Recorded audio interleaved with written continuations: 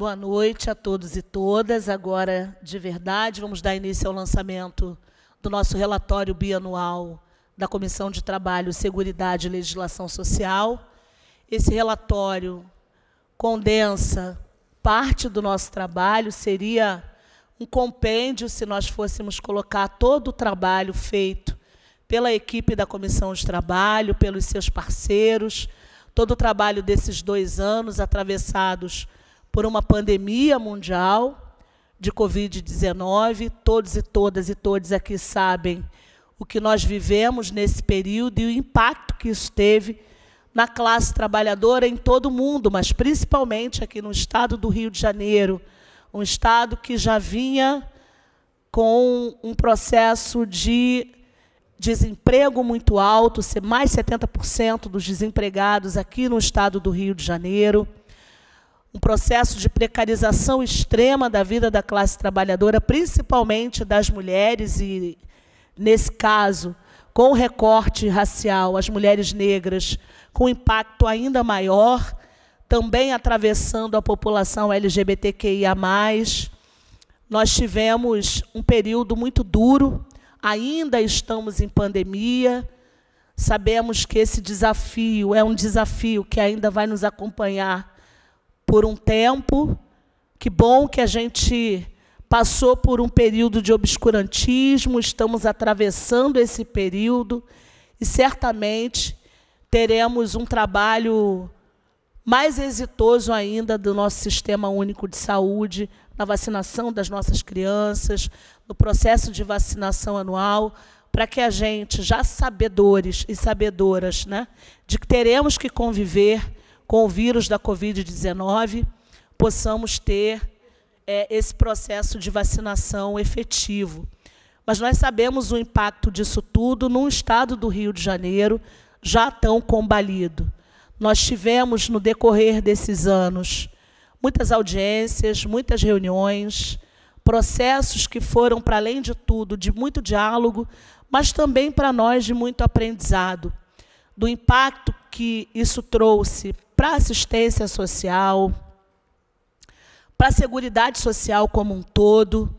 Passamos por reformas. Que bom, temos aqui o professor Mauro Osório, nosso companheiro querido, nossa referência aqui na LERJ, nosso coordenador da assessoria fiscal.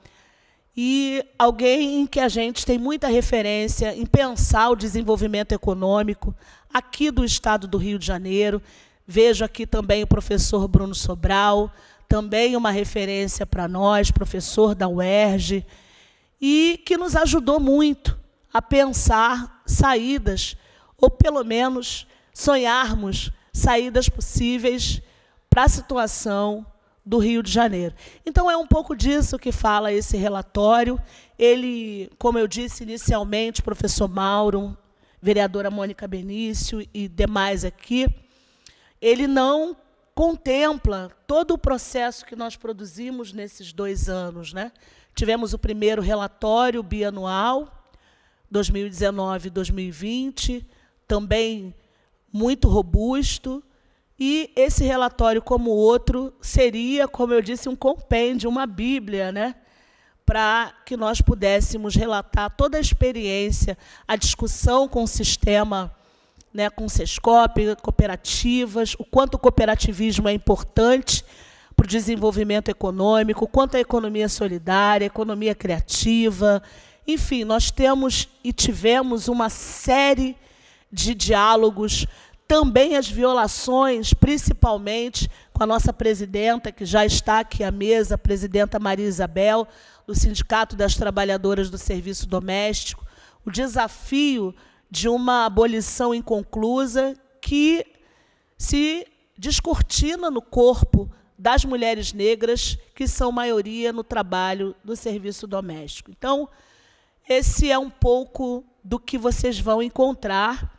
Nós temos essa versão impressa, ela é muito é, inicial, a gente, inclusive, está revendo algumas coisas, mas a gente pediu né, muito para o nosso pessoal da gráfica agilizar a impressão é, de alguns exemplares para nós essa noite.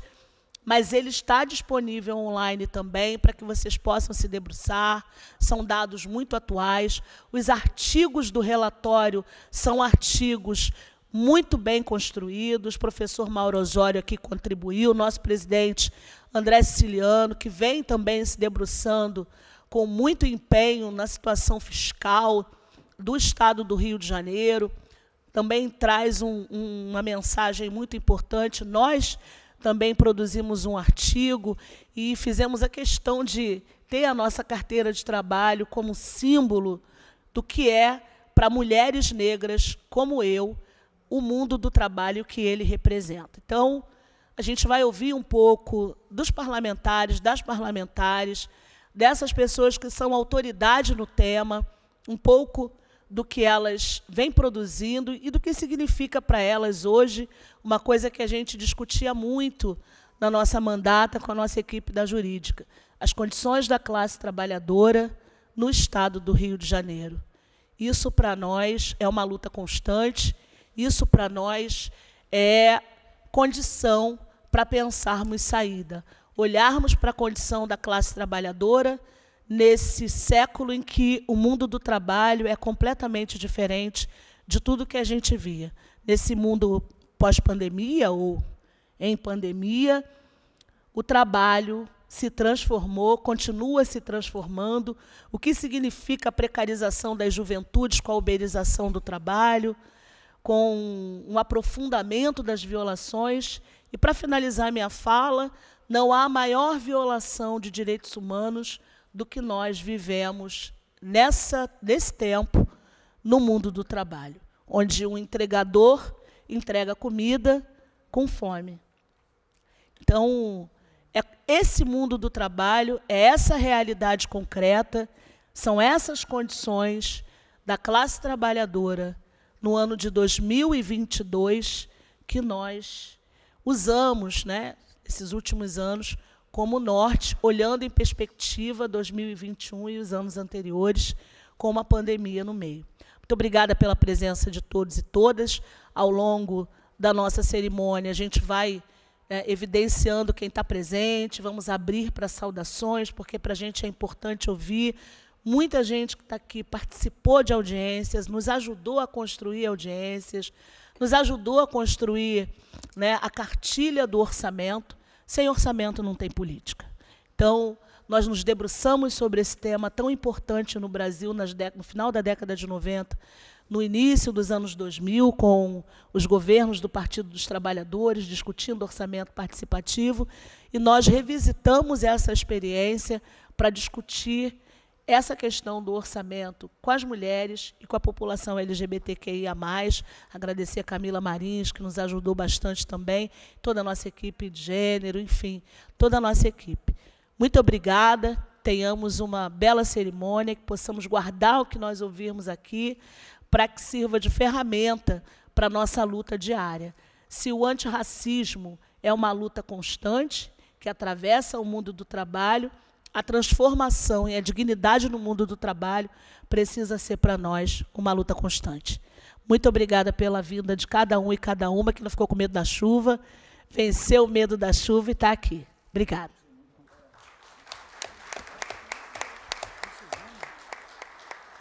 Choveu bastante, né? O pessoal deve ter ficado com. Eu falei, o pessoal vai ficar com medo, né? Porque choveu bastante. Tava até choveu a beça. Bom, gente, a gente vai começar. Eu quero é, ressaltar aqui que a nossa companheira, deputada enfermeira Rejane, também muito atuante, é vice-presidenta dessa comissão, não pôde estar por conta de compromisso, não sei se ela consegue chegar, mas agradecer o empenho de todos os deputados e também da nossa vice-presidenta, muito atuante, enfermeira, trabalhadora, servidora da saúde e que se empenhou em muitas lutas juntamente conosco. Antes da gente abrir para as falas, a gente vai ter uma intervenção cultural com a nossa presidenta do Sindicato das Trabalhadoras Domésticas, Maria Isabel.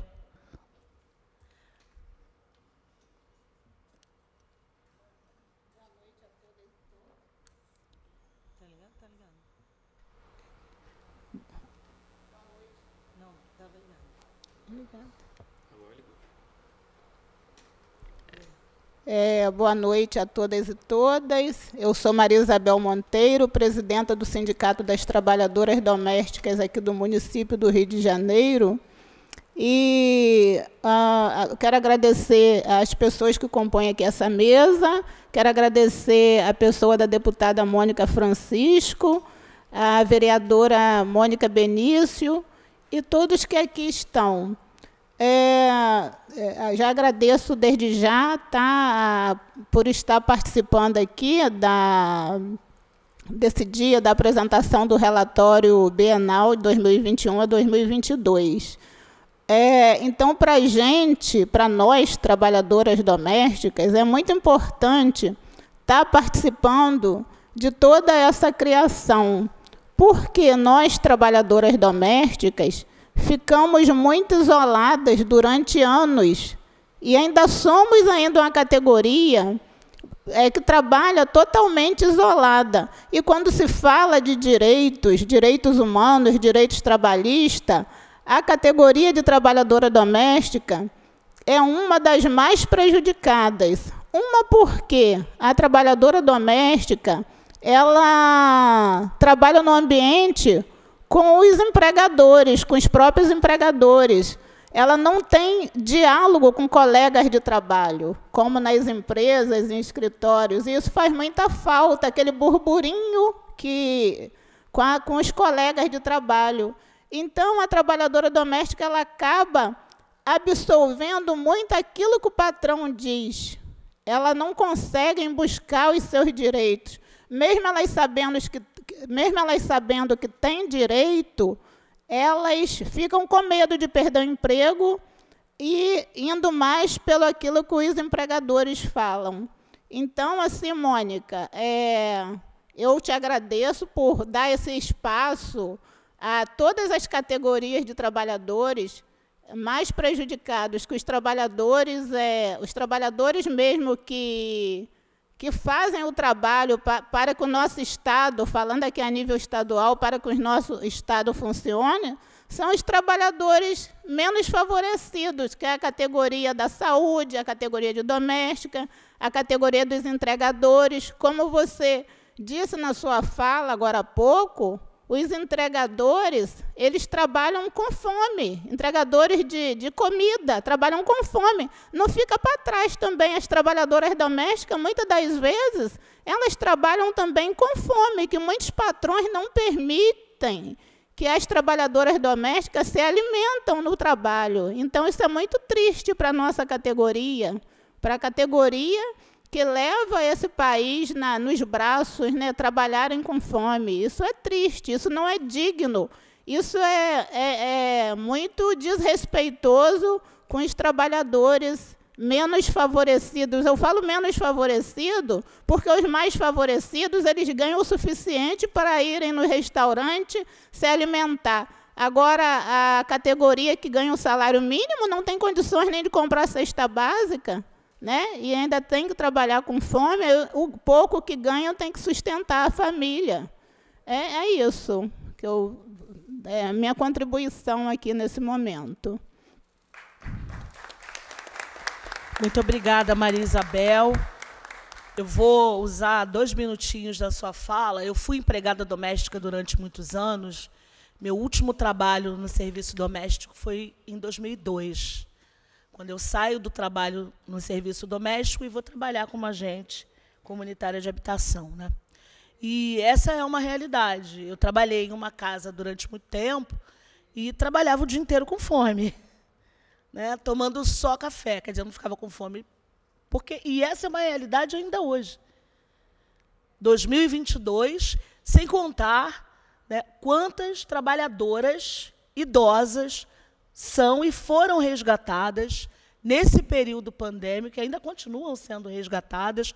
A gente, inclusive, teve a justificativa do Ministério Público do Trabalho.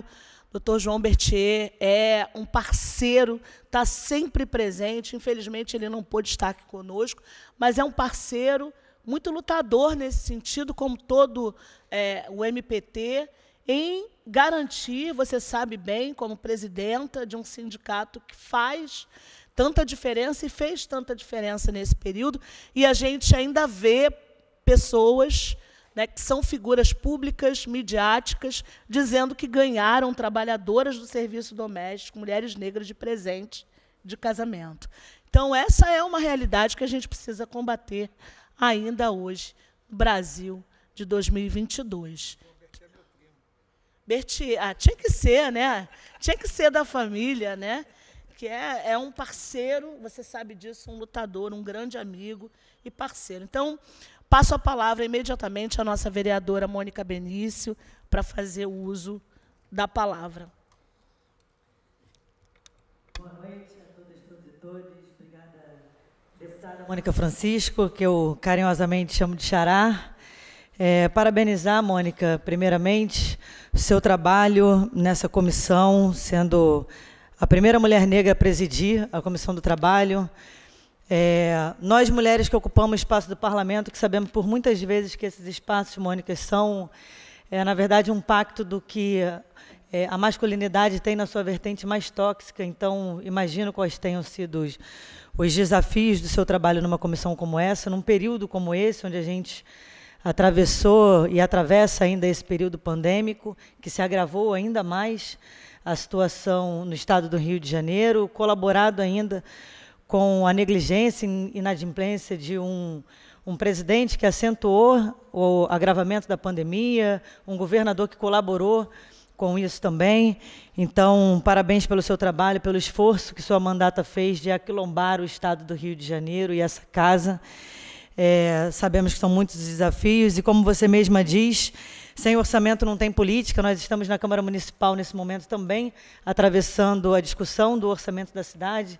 E é sempre um desafio quando a gente coloca o recorte de gênero, raça e classe para poder falar sobre o orçamento público. E estava aqui ouvindo Isabel falar, e você depois, quando reforça, é, esse lugar da empregada doméstica. Minha mãe, antes de ser costureira, era empregada doméstica e deixou de ser porque não tinha com quem deixar os meus irmãos e precisava levar para o trabalho e a patroa dela havia pedido para deixar o meu irmão trancado no banheiro durante o período do trabalho. Então, são inúmeros esses relatos e chega a gente 2022 é, com essas histórias se repetindo, infelizmente. A nossa luta é uma luta constante por igualdade salarial, por condições dignas de trabalho para toda a população. E a gente sabe que as mulheres, principalmente, sobretudo as mulheres negras, são as mais vulneráveis dentro da nossa sociedade quando se trata desse recorte. Então, muito importante o trabalho da sua comissão, é, que você presidiu com excelência. Eu, enquanto moradora dessa cidade, desse estado, agradeço a sua atuação. É, acho que essa cartilha, inclusive, né, não dá conta de todo o trabalho que foi feito, mas é sim um esforço expressivo e muito necessário importante para nós. Então, parabéns pelo trabalho, é, que a gente possa utilizá-lo como ferramenta de uma transformação social que, de fato, é uma luta constante. De já eu peço desculpas caso não possa ficar até o final da sessão, porque Vou ter um outro compromisso, então, se precisar me ausentar antes, parabenizo a presença de cada um e cada uma aqui também, porque essa luta é coletiva e o fato da presença de vocês aqui hoje, sem dúvida, não é só sobre o reconhecimento do trabalho da Mônica, mas sobre a necessidade e o desejo de vocês também de transformarem o nosso estado do Rio de Janeiro numa sociedade melhor. Obrigada. Muito obrigada, vereadora. é, é, é eu não posso deixar de falar, né? Eu não sei, meus filhos fazem terapia lá, né? Mas você falou da sua mãe, né, que a patroa pedia para trancar o seu irmão no banheiro, né, para não dar trabalho. Aí a gente lembra do Miguel, né? Filho da Mirth Renata. E eu lembro dos meus filhos, que eu levava e escondia no armário do quarto de empregada. Porque não tinha creche, ou às vezes. Meus filhos sempre estudaram no Brizolão, né? Foram alunos de CIEP, e dia todo. Então, quando não tinha aula, difícil, né? não tinha, não, não tem. Então, quanto é importante na política para as mulheres, e você é parte da comissão técnica também, comissão das mulheres da Câmara de Vereadores e Vereadoras do Rio de Janeiro, da cidade do Rio de Janeiro, sabe o quanto essa rede de apoio, o quanto o Estado precisa garantir para que né, mais postos de trabalho, inclusive, sejam abertos para mulheres que vão continuar fazendo é, esse trabalho do serviço doméstico. Então, essa realidade é uma realidade que atravessa as nossas vidas. Por isso é tão importante a diversidade no parlamento. Quando a gente fala isso, a gente não está falando isso apenas como uma frase panfletária. É importante a diversidade no, no parlamento porque ela traz essa carga de experiências da vida concreta, né? que o parlamento precisa para incidir, de fato, nas políticas é, reais, para a vida das pessoas reais. Né? E eu quero conversar agora é, e ouvir um pouquinho o nosso companheiro, professor, doutor, nosso queridaço amigo, virou amigo. Ele costuma brincar, vou falar. Fala, fala, fala, é, é, eu fico bebendo um pouco ali, né, lendo as coisas que ele manda por WhatsApp, para falar, olha, professor, estou ficando mais sabida contigo, né? É, ele falou: Olha, eu acho que o pessoal agora está ficando está virando um partido sério. Você falou isso, os presidentes estão ali. Te olhando. Ah, estou falando, falei que eu ia te expor.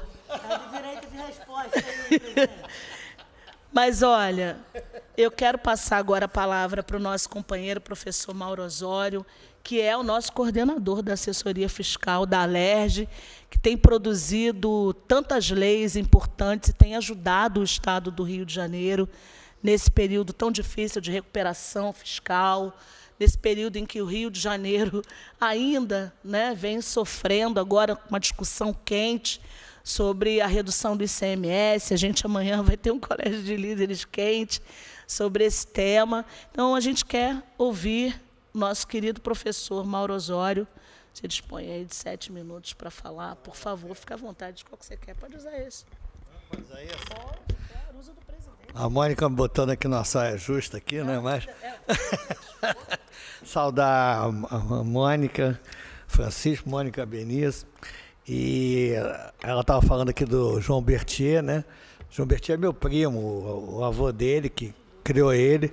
Era um general na época que esse país não tinha general de esquerda, ele era um general marxista, é. E foi, o Chico Alencar era vizinho dele, e ele ia levar roupa para o Chico Alencar, o Chico Alencar preso lá na Barra de Mesquita na época da ditadura militar, enfim. É, e eu fico emocionado de estar aqui, Mônica.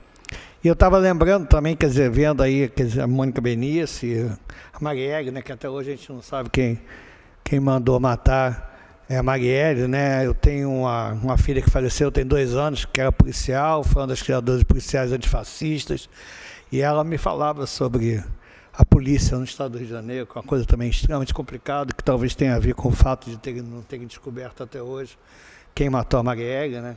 Quem matou o Anderson, né? Então eu acho que é, a Mônica Francisca ela é um brilho, né, para o parlamento, para a LERJ, que tem tanto que melhorar, que melhorou muito com a André Cigano, a verdade é essa. Né? Eu sou uma pessoa que escrevo sobre o Estado do Rio de Janeiro, muita gente, muitas vezes, né, Bruno, dizem que eu sou pessimista, né? Mas não, a questão não é essa, a questão são os números, a questão são os dados e com todas as críticas que eu tenho, quer dizer, ao que tem ocorrido no Estado do Rio de Janeiro por décadas, o André teve a coragem de me convidar para cá, de, me dar liberdade para montar uma equipe, me dar um mandato. Né? Eu nem precisei correr atrás de voto agora, Mônica, eu tenho um mandato aqui até 2024 na, na assessoria fiscal. Esse negócio de voto é muito difícil, né?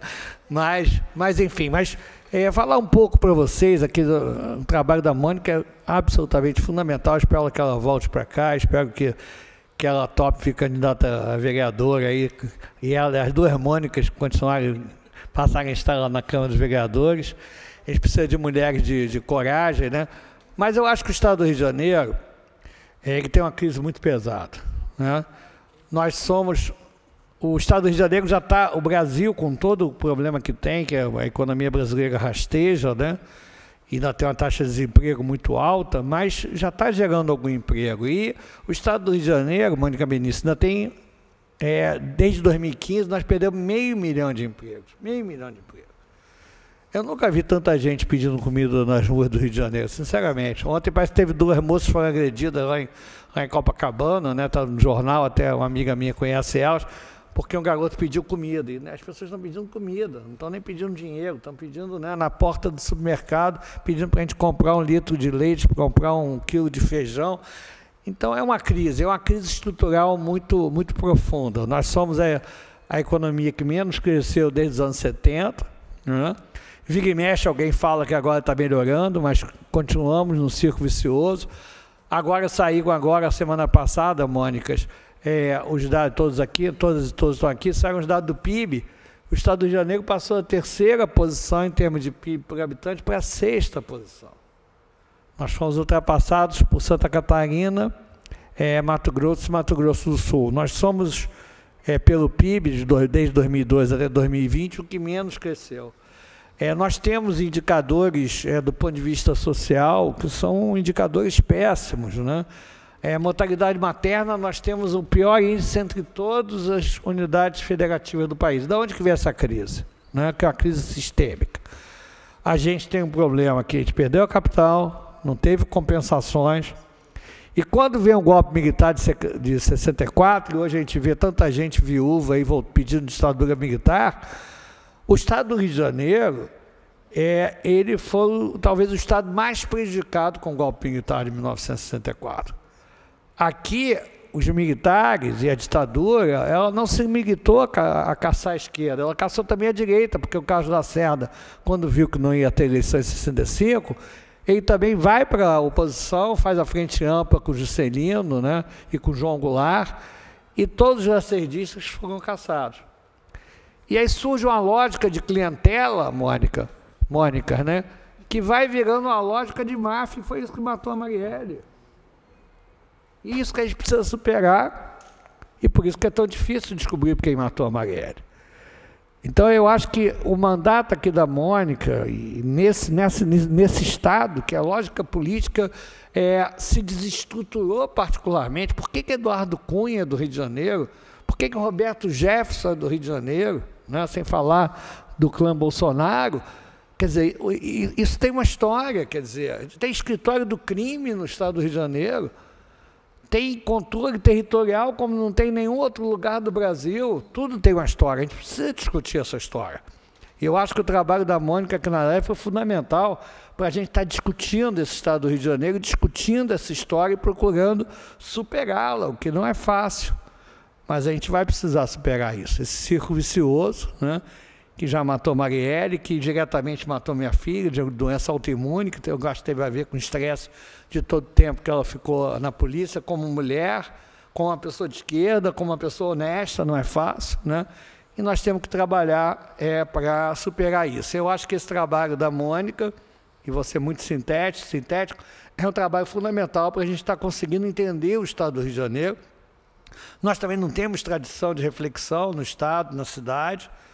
Nossa mania é pensar Brasil, né? Outro dia eu estava vendo, tem um grupo chamado Copas pelas Diretas e pelos Direitos, que é um grupo bastante legal, que a gente esteve lá discutindo com eles. Mas a gente vê, Bruno, por que, que eles criaram um grupo, não falam em Rio de Janeiro. O grupo Copas pelas Diretas e pelos Direitos, eu nem falei isso com eles, estou cometendo aqui uma... uma né? é, discute soberania nacional.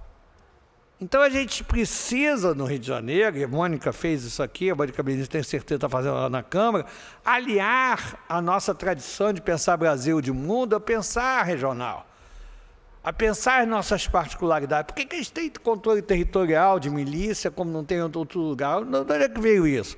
Vamos estar discutindo, que a gente tem feito muitas discussões lá com o Eduardo Soares, trazendo mais gente, trazendo pessoal da Associação Brasileira de Juristas pela Democracia, mas é isso parabenizar a Mônica, é uma alegria estar aqui também com você hoje na mesa, Mônica Benício, e que a luta continua e você vai continuar na luta política com mandato e vamos tocar em frente, vamos trabalhar para entender melhor esse Estado e conseguir tirar ele desse círculo vicioso, colocar no círculo virtuoso e sair da situação vergonhosa quando o Brasil já criou agora, nos últimos dois anos, 2 milhões de empregos, é pouco, perto, perto que se precisa, e, mas nós ainda estamos devendo, perdendo meio milhão de empregos no estado do Rio de Janeiro.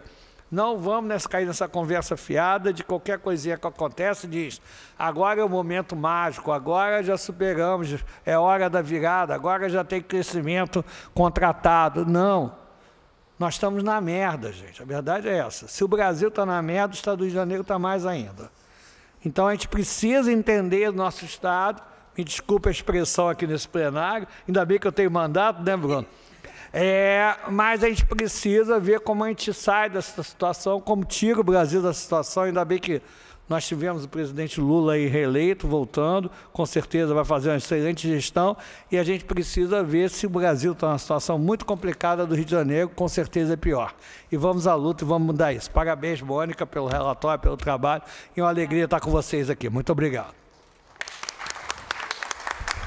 Obrigada, professor.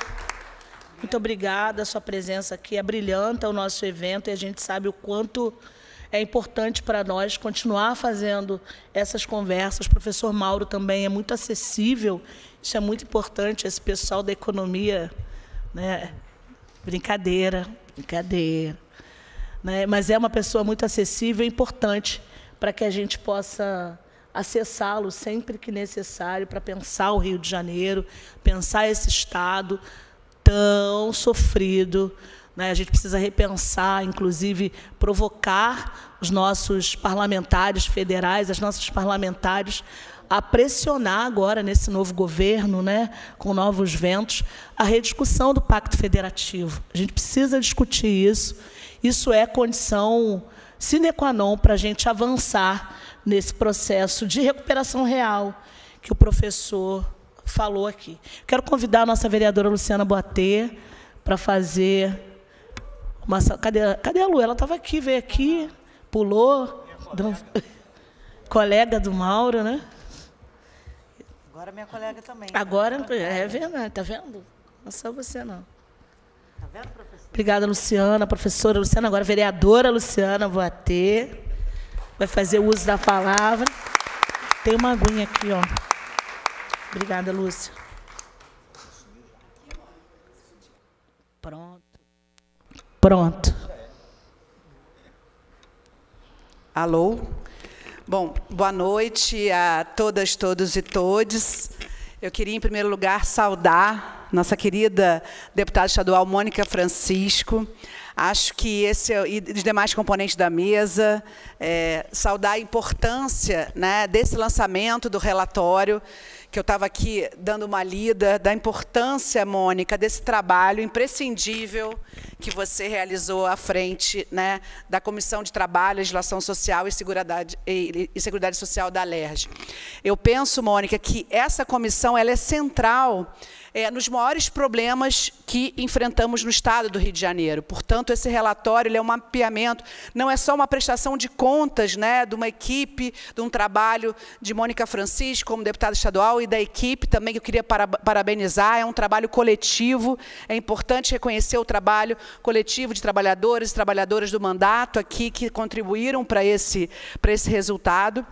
Mas eu entendo que a maior importância, Mônica, é da centralidade que você conseguiu dar nessa comissão aos mais graves problemas, os enfrentamentos necessários é, que foram feitos ao longo do, do seu mandato.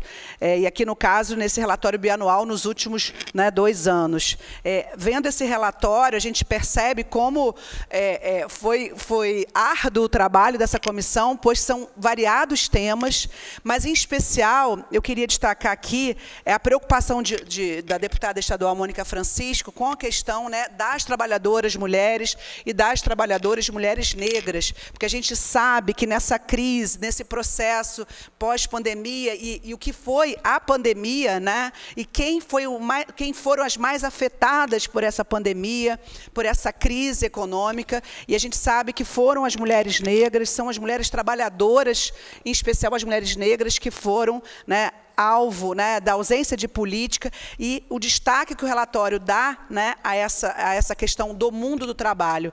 Porque a gente falar aqui de uma questão, né, de uma comissão do trabalho, é pensar essas trabalhadoras que são não só exploradas, já mesmo como remuneradas, a situação hoje do mundo do trabalho é uma exploração, mesmo como se tem formalidade, quando você tem né, uma contratação ainda que precária. Mas nós estamos falando de trabalhadoras, em especial aqui, que nessa, nesse momento da pandemia, sequer tiveram condições de trabalho ou de acesso a algum tipo de remuneração. São as trabalhadoras informais, são as trabalhadoras domésticas também, saudar aqui a importância desse recorte do relatório e dizer, Mônica, terminando, que acho que a gente tem que aqui também fazer uma homenagem a você, por sua história, por seu trabalho, por tudo que você representa e continua representando no PSOL, na política carioca, na política do Estado do Rio de Janeiro né, e dizer que esse reconhecimento é coletivo e, é, e o trabalho que você apresenta é um dado concreto do que a gente já acompanhava o seu trabalho, a gente já né, reconhecia, e Mônica, com esse relatório, com essa prestação de contas, só reforça justamente né, a importância e a entrega né, desse, desse resultado de um trabalho tão árduo. Então, Mônica, parabéns. Eu acho que você, você tem aqui, traz para nós também os desafios né, com esse relatório, dessa contribuição para esse pós pandemia para esse momento posterior. E, Mônica, estamos juntas, eu quero te dizer aqui também da minha admiração por você, do reconhecimento, né, nós que nos conhecemos ainda no mandato de Marielle, né, dizer dessa história linda que Mônica traz e dizer da importância de termos Mônica Francisco aqui conosco, desse trabalho, essa incansável deputada estadual. Então, parabéns, Mônica, parabéns, equipe da mandata Quilomba Mônica Francisco, a todas e todos que contribuíram para esse trabalho e que represento aqui na figura de Mônica Francisco a resistência necessária da mulher negra, socialista, de esquerda, e que está aí também muito bem representando o PSOL, o nosso partido, aqui também que tem essa representatividade na figura da Mônica. Então, obrigada, boa noite a todas e todas. Uma honra para mim estar aqui, Mônica. Um beijo grande e obrigada. Obrigada, Lu. Importante ressaltar aqui, quero também fazer menção à presença do nosso companheiro Jackson, nosso Jack aí. Oi, Jack, faz assim, ó. Também foi um dos coordenadores da Comissão de Trabalho, contribuiu bastante para a gente pensar. Né? Já tinha falado da Camila também, né? pensando o orçamento, é importante essa contribuição e essa fala da Lu, lembrando que sem o trabalho coletivo você não consegue, né? Não existe trabalho de um homem nem de uma mulher só, né? É um trabalho coletivo, um trabalho importante dessas cabeças todas. E eu já quero convidar a nossa companheira Ivanete, Ivanete, querida, Ivanete Silva, representando o Fórum de Mulheres de Caxias, de Duque de Caxias.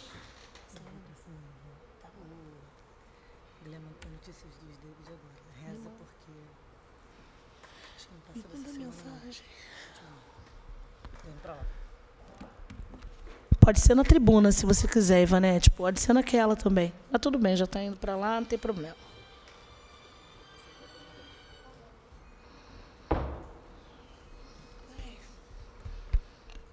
Boa noite a todas, todos e todos. É, dizer também do imenso prazer de estar aqui convidada né, e fazer uma representação é, das mulheres, não só de Duque de Caxias, mas da Baixada Fluminense, no dia de, do lançamento desse relatório, né, que demarca, inclusive, nesse período agora, né, do Novembro Negro, dentro dos 21 dias também de ativismo de combate à violência contra a mulher. Faço destaque desses dois momentos. Né? Primeiro, por saudar a primeira mulher negra presidente dessa comissão né, de trabalho. A Mônica, ela não só traz né, toda a sua vida para esse lugar, como bem disse é, Luciana Boatê, mas ela coloca no mandato as demandas né, dessas mulheres, principalmente das mulheres negras trabalhadoras, e do quanto elas são afetadas por essa política de Estado né, que já vem há muito tempo, né, como foi bem detalhado aqui.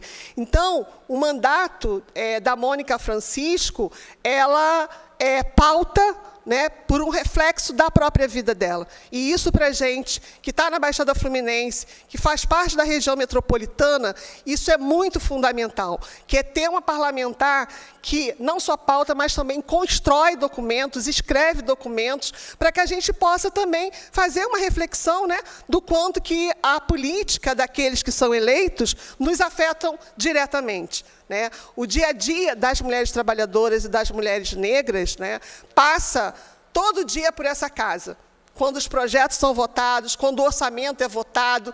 E aí vem a Mônica Francisco aqui, porque muitas vezes né, o parlamento, o próprio movimento, olha para nós, mulheres e mulheres negras, como se a gente só pudesse falar daquilo que é do movimento negro. Mas não. A Mônica ela fala de economia, ela fala da questão do mercado de trabalho, ela traz pautas, né, que são pautas essenciais e decisivas para que a gente tenha uma vida digna. Então, esses quatro anos, ele, a Mônica, ela não só construiu, produziu, articulou política na capital e para fora da capital. E a Mônica ela esteve presente em muitas atividades, né, no meu município, Duque de Caxias, na Baixada Fluminense, no interior do estado do Rio de Janeiro. Ou seja, um mandato que dialogou direto com a população, que viu de perto né, essa condição onde é, o povo trabalhador e pobre foi tão afetado, não só pela pandemia, que aprofundou ainda mais isso tudo, né, é, mas também é, construiu né, essa escrita também de forma coletiva. Então, Mônica, é, esse é um mandato, né, e que ouso dizer que é um mandato que continua. Por mais que a gente não esteja na estrutura da casa né, legislativa, é, ela, é, ela continuará em movimento, é, atuando junto aos movimentos sociais e levando esses debates né, que são do nosso cotidiano principalmente pensar a economia do Rio de Janeiro, o orçamento, e disputar esse orçamento por aqueles que, que estarão aqui né, na casa. Então, tenho certeza que daqui a dois anos a gente tem de novo uma parlamentar mesmo que seja na capital, mas dialogando também com o Estado do Rio de Janeiro, para que a gente não repita, né, ou pelo menos continue impulsionando mudança nos dados. Porque, infelizmente, ainda hoje é, é, a população negra que aparece né, nos dados mais elevados relativos né, a trabalho desprotegido e taxa de desocupação. Né? E, e, e, ao contrário, né, as taxas é, mais altas, de, não, extremamente reduzidas, quando se trata dos dados sobre ocupados, rendimento médio mensal e atuação em cargos de direção e chefia e a gente está falando da população negra. Então, para deixar essa marca aqui, né, dessa parlamentar que se, segue como referência para a gente, né, de mulher negra, trabalhadora, né, é, socialista, que representa esse nosso partido e que continuará atuando com a gente para o Estado do Rio de Janeiro como um todo. Obrigada. Quero deixar um convite, Mônica, aqui para você, foi o mesmo que entreguei para a vereadora Mônica Benício. É, agora, no próximo dia 8, né, o Movimento de Mulheres de Caxias vai estar fazendo uma é, audiência pública né, na Câmara Municipal é, sobre as demandas também das leis que falam, né, que versam sobre política pública para mulheres daquele município. E Mônica é uma pessoa que ajudou o movimento de mulheres daquela cidade a construí-lo. Então, nada mais justo de tê-la de novo lá com a gente, tá? Obrigada. Obrigada pelo convite, Vanete. Parabéns lá pelo trabalho coletivo das mulheres. Quero convidar nosso companheiro Mário Barreto, presidente estadual do PSOL, para fazer uma saudação. Obrigada, Mário, pela sua presença. É importante que os partidos de esquerda são taxados como partidos que, historicamente, não discutem desenvolvimento econômico, que estão distantes desses temas, que falam muito bem né, de direitos humanos ou da chamada pauta identitária.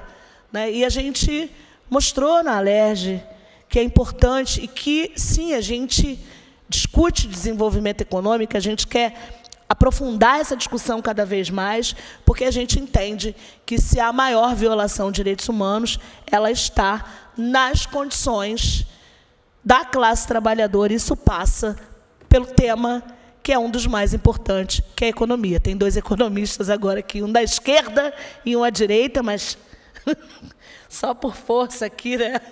Professor Mauro, te jogaram aí do lado direito. Brincadeiras. Mário, por favor, muito obrigada pela sua presença. Importante esse momento. Boa noite a todas e todos. Boa noite, Mônica. Boa noite à mesa. Eu acho que as falas da companheira Luciana e da companheira Ivanete já foram muito felizes, eu acho, sobre o trabalho dessa comissão. É, essa mandata e essa presidência dessa comissão é, assumiu uma comissão num momento central para o Rio de Janeiro. um momento de crise muito profunda, econômica, política e social. Um momento em que a fome voltou a ser o tema central das nossas discussões. Um momento em que o Rio de Janeiro passou pelo ataque de um governo federal que tinha pouca preocupação de recuperar as condições econômicas do Estado, garantir o combate à fome, mas tinha mais preocupação com a aplicação de um programa econômico ultra neoliberal, descido direto do Ministério da Economia do Paulo Guedes. Eles se preocupam com a questão fiscal, mas não se preocupam com a qualidade de vida do conjunto da população do Rio de Janeiro. E essa mandata e essa presidência trouxeram para a Comissão do Trabalho uma postura, uma afirmação de que a saída dessa crise necessariamente vem de baixo, necessariamente vem dos mais pobres, necessariamente vem dos trabalhadores e das trabalhadoras, e isso passa pela articulação de raça, classe, gênero e uma aproximação com a vida real das pessoas. Essa foi uma comissão do trabalho que dá muito orgulho para o pessoal, porque é uma comissão que conseguiu se aproximar dos movimentos sociais nas audiências públicas nos territórios, conseguir trazer o conjunto dos movimentos para dentro da Alerj em diversas lutas. Eu, eu não quero ser injusto, mas é, foram todos os debates que a gente teve aqui nessa casa, com relação à reforma da Previdência, com relação à reforma trabalhista, com relação aos jovens aprendizes, com relação aos trabalhadores da SEDAI, com relação à agricultura familiar com relação ao conjunto de movimentos que estavam colocados, que encontraram na comissão de trabalho um espaço para fazer uma discussão política sobre os rumos do Estado. Ou seja, a situação econômica do Rio de Janeiro durante a presidência dessa mandato durante essa presidência da Comissão do Trabalho foi uma comissão aberta para que os movimentos discutissem a economia do Estado, e não só os parlamentares da casa, e não só o governo estadual conseguisse trazer o conjunto dos movimentos. E nós, do pessoal, temos muito orgulho, Mônica, de ter estado junto a você nessa construção e de seguirmos nessa construção para os processos futuros. Né? Eu acho que isso é essencial, não só para um mandato ou para uma legislatura. Isso é essencial para a recomposição e reaglutinação do conjunto dos movimentos, do conjunto das lutas no dia a dia. Né? Então, é, agradecer um pouco, não só pelo papel cumprido na comissão junto aos movimentos, mas por você ter se é, é, é disposto num momento de violência política, né? principalmente violência política de gênero, tão chancelada por quem estava na presidência da República, ter se disposto a vir para esse plenário e fazer debates que foram fundamentais, com muita serenidade e firmeza. Como a gente enfrentou um impeachment de um governador nessa casa, como a gente se colocou durante toda a discussão do regime de recuperação fiscal. A contribuição que você trouxe para o PSOL, de um partido que está à disposição para tocar a luta dos trabalhadores, mas também trazer para essa casa uma afirmação de um projeto político alternativo vindo dos de baixo, essa é uma contribuição que nós do PSOL consideramos inestimável, inestimável, e que seguirá para frente nas construções futuras, nessa casa e em outras casas legislativas. Então, da nossa parte, Mônica, um agradecimento pelo que foi a dedicação dessa comissão à luta dos trabalhadores, que representou a todos e todas as filiadas do pessoal nesse período. Então, agradecer à comissão, agradecer também à equipe da mandata e a equipe que trabalhou junto à comissão nesse período e ao conjunto dos movimentos que buscaram a comissão como um canal para conseguirem vocalizar também as suas lutas. Então, um grande abraço, Mônica, um abraço a todos da mesa, os presentes, uma boa noite. Obrigada, Mauro, Mário.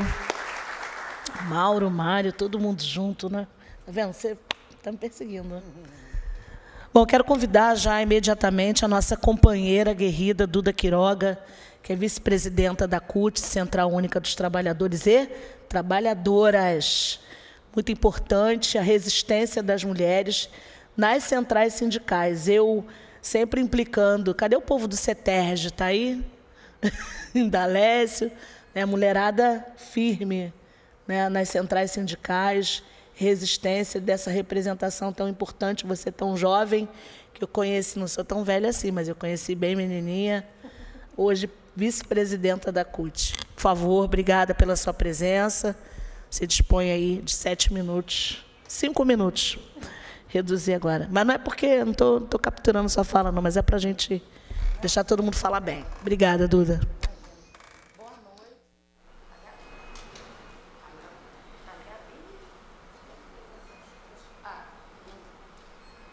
É que eu acho que agora foi. Tá. Melhor tirar a máscara, eu não estava indo. Bom. Boa noite a todos, todas e todos. Eu sou Duda Quiroga, sou professora da Rede Municipal de Ensino de Educação Infantil e Fundamental Primeiro Segmento. Estou na coordenação geral do Sindicato Estadual dos Profissionais de Educação, CEP, e na vice-presidência da Central Única dos Trabalhadores e das Trabalhadoras. E aí, Mônica já citou aqui o Indalés, que está presente, nosso dirigente também da CUT, mas também estão aqui a nossa companheira Glauciele, que também é da direção da nossa executiva. Não é à toa que nós estamos é, em três aqui presentes, diretores da executiva da CUT no momento. A companheira Keila, que é a nossa historiadora, teve aqui mais cedo. É, tem a ver com a importância que a sua gestão à frente da Comissão de Trabalho, Legislação Social e Seguridade Social foi para nós, e por isso a gente está em grupo aqui, né? entende a importância de, de, estarmos prestigiando esse momento. Você já falou que a gente se conheceu há muito tempo, eu lembro quando a gente estava lá nas discussões de mulheres e economia, há uns 15 anos atrás, 17, sei lá, por aí. Pois é. E aí a gente vai andando e vai se reencontrando em cada lugar e em cada luta. E acho que das mulheres já teve uma mulherada super potente que trouxe aqui um monte de elementos do quanto que essa comissão foi importante para olhar desde as companheiras trabalhadoras domésticas, como minha amiga presidenta do sindicato, Marisabel, falou aí, mas também é, de outras, né, de outros lugares que nos afetam diretamente no próprio debate da reforma da Previdência aqui dessa casa e do pacote de maldades, considerando que entre nós, por exemplo, da, da educação, também somos uma maioria de mulheres, e também a mudança no cálculo da Previdência afetou diretamente as mulheres trabalhadoras, professoras, algumas que têm, inclusive, muitos anos né, em sala de aula e que, na conta lá, idade e tempo, vão ficar, sabe-se lá quanto tempo. Eu, nem, eu não conto a minha conta nesse sentido, porque é, considerando que eu sou professora desde 99 e que estou longe de ter idade mínima, eu estou ferrada na, na regra de transição. Pois é.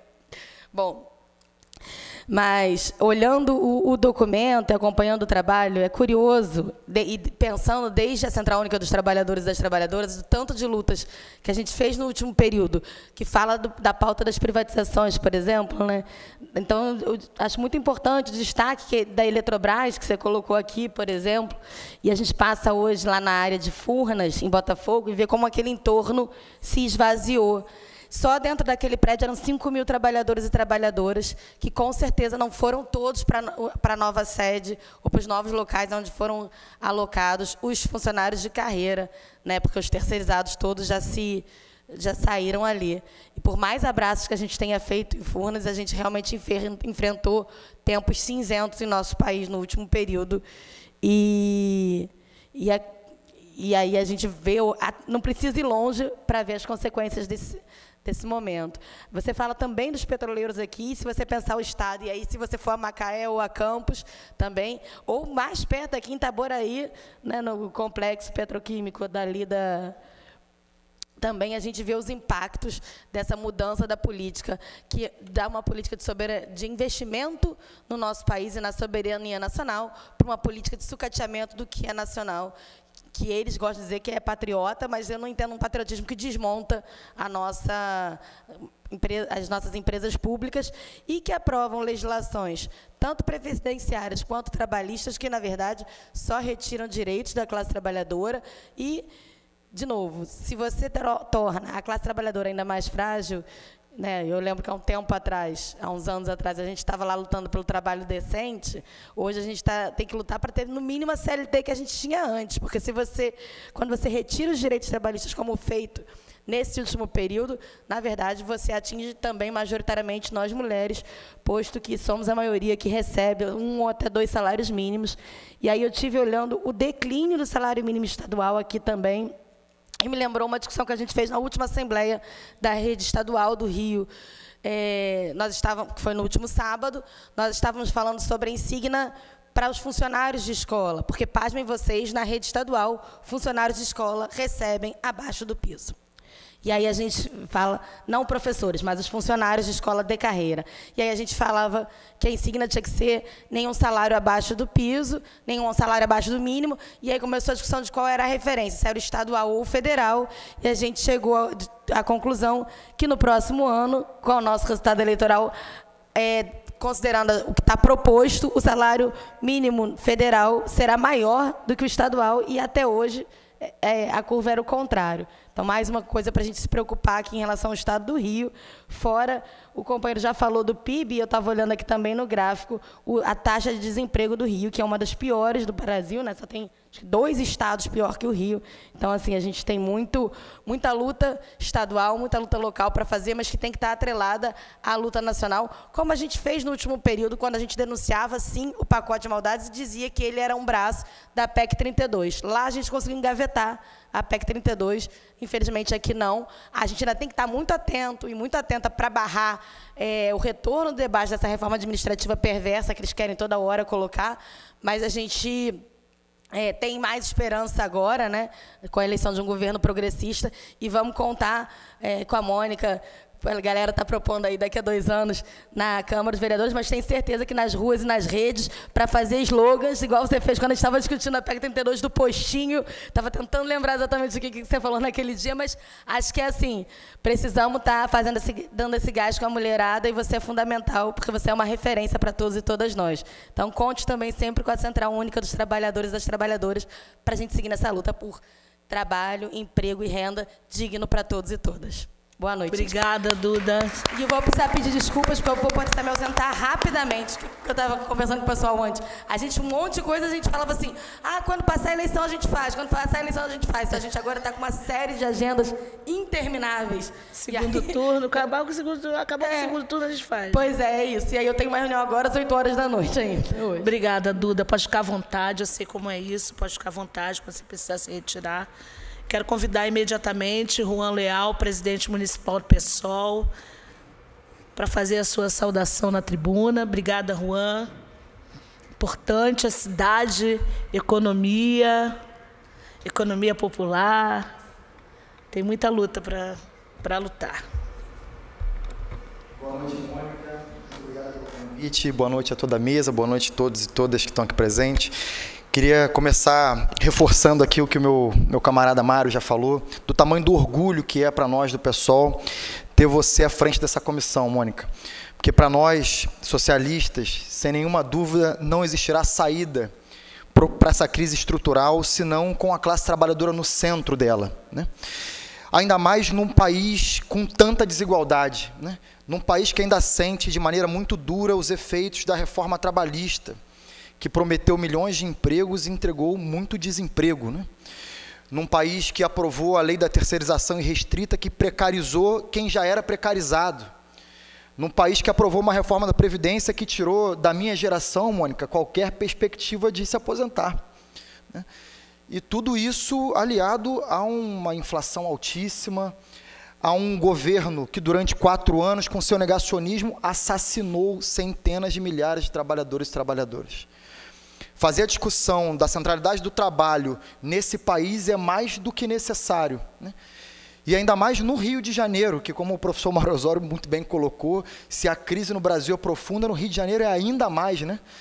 É, e aí, num Rio que carrega a triste marca de, nesse período, ter sido, estar tá lá entre os três primeiros, no pior desempenho de geração de emprego, ter uma mulher negra que sentiu na pele todas as mazelas da informalidade à frente desse trabalho é muito representativo. para nós aqui do Estado do Rio de Janeiro, a discussão do trabalho é também central, porque é, nós carregamos aqui não só altíssimos índices de desemprego, mas todo o peso da inflação, de altíssima, de altíssimo, do altíssimo preço da cesta básica e de como a classe trabalhadora sofre no seu dia a dia para conseguir sobreviver. Né? Hoje não há nenhuma dúvida que o combate à desigualdade é um, um debate central e ele passa necessariamente sobre a discussão do trabalho, emprego e renda. E é importante também falar, Mônica, que no Rio de Janeiro, um terço da população ocupada está no trabalho informal. E mesmo assim o Estado continua tratando o trabalhador informal como bandido. Usa das suas forças policiais para reprimir a classe trabalhadora, como se a informalidade fosse uma opção como se o trabalhador escolhesse não ter direitos, escolhesse não ter profissão. Isso é, é, é, é, um enfrentamento que nós precisamos fazer no dia a dia, especialmente aqui na cidade do Rio de Janeiro, nem né, que a gente vê a guarda municipal sendo usada cotidianamente para reprimir camelôs na rua. Esse é um debate muito central. Então eu quero falar, ressaltar do orgulho que é ter para nós você como presidenta dessa comissão, o orgulho que é para o PSOL carregar todo esse estofo que você produziu nessa comissão, que o seu mandato coletivamente, através da sua equipe, conseguiu produzir. E quero, inclusive, terminar fazendo um convite, né? porque lá na Câmara Municipal aqui da capital, nós também estamos à frente da presidência da Comissão de Trabalho, com o mandato do vereador William Siri, e seria muito importante que nós pudéssemos levar todo o acúmulo desse relatório para a Câmara Municipal, para fazer esse debate também lá na, no âmbito do município do Rio de Janeiro, que é também um dos municípios onde carrega um dos maiores índices de desemprego, é importantíssimo esse debate para nós. Então, mais uma vez, parabéns pelo seu trabalho. Para o pessoal é uma grande honra ter você à frente disso e tenho certeza que ainda faremos muito mais. Obrigado, Mônica. Obrigado a todos e todas. Obrigada, presidente. Obrigada, Juan. Quero convidar já imediatamente a Ana Paula Brito, da CTB, Sindicato dos Comerciários, para fazer a sua intervenção. Obrigada por estar conosco. Que bom a gente ver mulheres à frente da luta pelos trabalhadores e trabalhadoras nesses espaços de protagonismo, né, das centrais sindicais, que eu implico bastante, né, Indalece, muito. Eu tô, peguei você, você é meu foco agora. Sabe que eu te amo, né, Indalece? Mas muito masculinizados ainda, né? Muito machistas até. Então é um, um para nós é um motivo de muito orgulho ter mulheres como vocês aqui. Muito obrigada.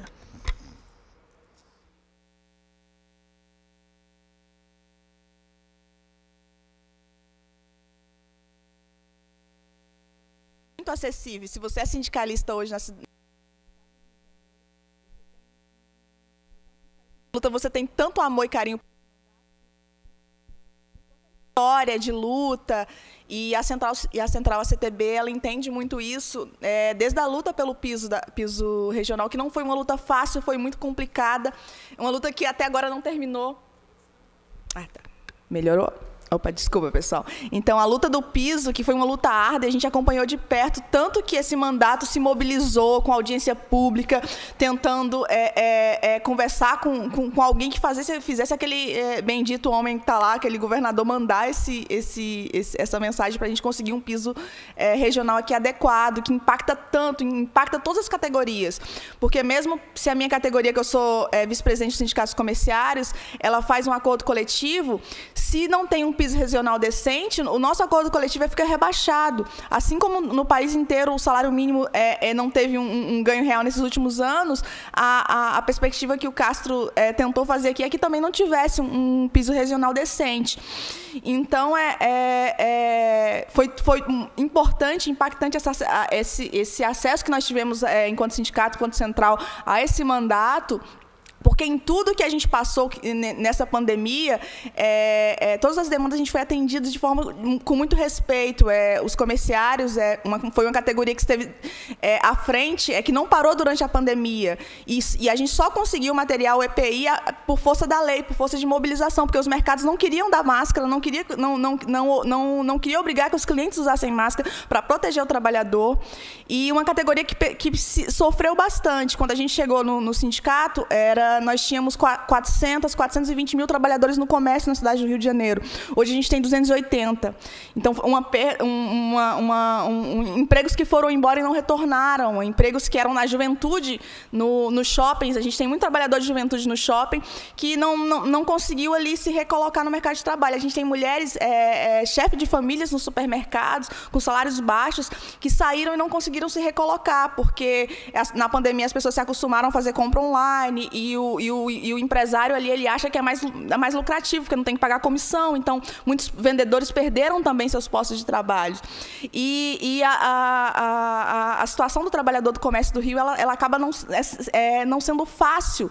É, a gente tem muita reclamação, tem grandes redes aí bonitas, aí, é, é, famosas na cidade do Rio de Janeiro, que a gente enfrenta problemas como trabalhadoras funcionárias tendo que urinar no próprio caixa de supermercado. E não é uma rede pequena, não, rede grande. Então, a gente, quando leva esse, esse, essas questões para, para, para o debate, a gente tem um acolhimento assim, muito grande. assim Tanto, tanto a equipe da, da, da Mônica, Carla, Rafael, entre tantos outros, eles sempre nos, no, nos acolhem e a gente consegue é, debater essas questões com muito, com muito, com muito carinho, com muito muito respeito. É, a Mônica sempre teve muito presente na, na, na, nas demandas que o sindicato traz. A gente teve um, uma, uma, uma, luta que não foi, não foi fácil também, a gente acabou não, não conseguindo, mas foi trazer vacina para os trabalhadores na época da pandemia, porque estavam na linha de frente, mas eles eram invisíveis. O trabalhador do comércio, a mulher que estava lá no caixa, ninguém nem olha para a cara da trabalhadora do caixa. Você vai passando das coisas, é um, é um profissional que não existe.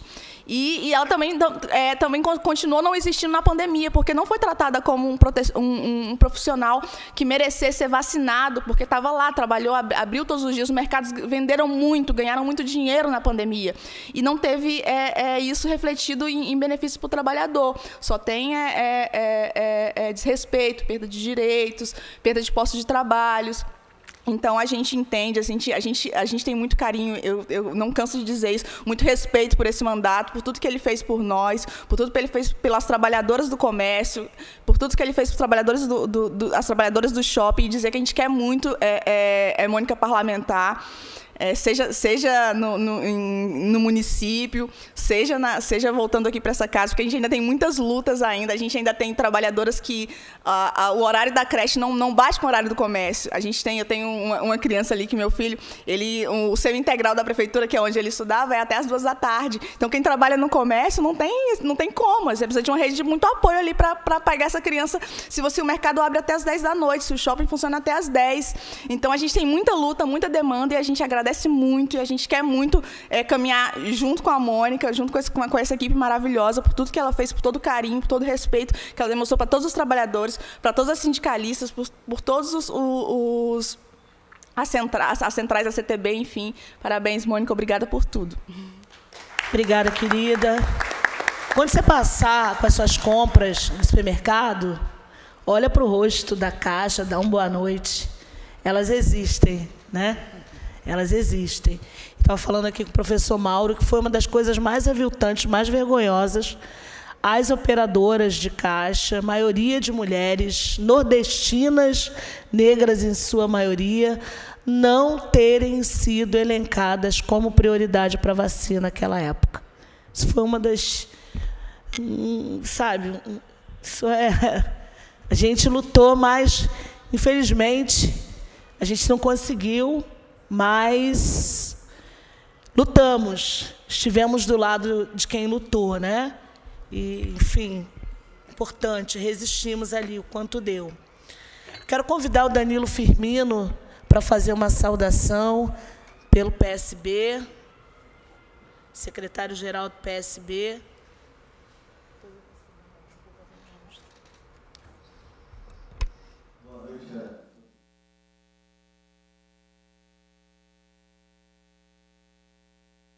Queridíssima deputada Mônica Francisco. É, também saudar aqui um grande amigo meu, né, digamos, foi meu professor, está na Comissão de Direito e Trabalho da LERJ, é o cara que mais me ensinou sobre direito sindical, sobre a luta dos trabalhadores, a Adécio Bucinge, é uma grande referência para mim. Saudar também o, na, na, na presença, na pessoa do Rafael Nunes, todos os membros que trabalharam, ajudaram, na, na feitura desse relatório. Mônica, é, para você já não é uma surpresa, grande admiração e a certeza que você é uma grande parceira né, de todos nós do PSB. É, falo como, enquanto secretário estadual do PSB, trago aqui também os cumprimentos do nosso presidente, Alessandro Molon, que está retornando, ficou até o final lá da feitura do relatório da COP 27, está chegando agora, deve estar tá chegando aqui, não pôde vir, mas trago aqui a saudação né, do Partido Socialista Brasileiro no estado do Rio de Janeiro. Dizer para nós é muito orgulho. Para mim, particularmente, que milito no subúrbio, Mônica, né, ter você por esses quatro anos na presidência da Comissão do Trabalho da LERJ foi não só um, um acalanto, mas também uma certeza de que tínhamos alguém para contar. Né? Quando a gente, quando ouvi a Paulinha, que é, é vice-presidente dos sindicatos comerciários, falar lembrava ali da, da luta dos, comerci, da, dos comerciários, das comerciárias. Né? No período da pandemia, nós sabíamos que é, vários momentos, pelo Fala Subúrbio, coletivo que eu coordeno, é, eu recebia de empresas que obrigavam os trabalhadores, né, lá em Honório Gurgel, tem uma metalúrgica, as fábricas que obrigavam os trabalhadores a irem sem EPI, sem revezamento, sem análise qualquer da comorbidade, se cada um tinha, embora algumas fábricas químicas fossem até de setores essenciais, mas aqui era onde nós podíamos encaminhar as denúncias, ali na pandemia. Não só, eu quero ressaltar, Mônica, que o orgulho e a alegria de ter o Rio de Janeiro ter podido ter um mandato como seu, para nós do PSB isso tem um reconhecimento enorme, porque você sempre foi uma parlamentar, né, que, como na sua trajetória toda, nos conhecemos antes, né, no movimento social. Você sempre foi uma pessoa extremamente de luta e também de muito diálogo, muita capacidade de diálogo e interlocução. E no momento que nós vivemos, não só no país, mas como no Rio de Janeiro, como já foi falado pelo professor Osório, né, e todos que me antecederam, uma pessoa como você foi, foi uma pessoa, uma parlamentar fundamental, fundamental para os trabalhadores e trabalhadoras desse Estado. Porque alguém que não tivesse a capacidade de diálogo, independente dos desafios que estavam postos, nós saberíamos que não teria sido tão fácil, não foi fácil, mas teria sido muito mais difícil, né, para aqueles que foram representados por você passar por esse período terrível que a gente passou, não só no Brasil, mas no nosso estado, com toda a crise política e econômica, né? E eu costumo dizer em várias conversas com Mônica, em pautas que tivemos juntos, né, a gente sempre terminava, olhava um para a cara do outro e falava: como está degenerado. Né, Mônica? Quantas vezes nós olhamos assim, um para o outro, falamos: meu Deus, onde isso vai parar? Então, estar aqui hoje, Mônica. Para mim é um orgulho danado, um orgulho enorme, um orgulho para o PSB ter em você uma parceira e caminharmos sempre junto. É, o Mário falou sobre um partido de o que é ser um partido de esquerda, né? A gente geralmente é acusado de estar só nas pautas identitárias, mas o Partido Socialista Brasileiro também tem o orgulho em ter uma parceira como a Mônica, ter visto esse mandato. E a gente tem certeza, Mônica, como a gente sempre teve, a gente sempre se encontrou na luta, né? É na luta que a gente se encontra, não estou fazendo nenhuma. Mas eu tenho certeza que continuamos caminhando junto. A institucionalidade não nos pauta.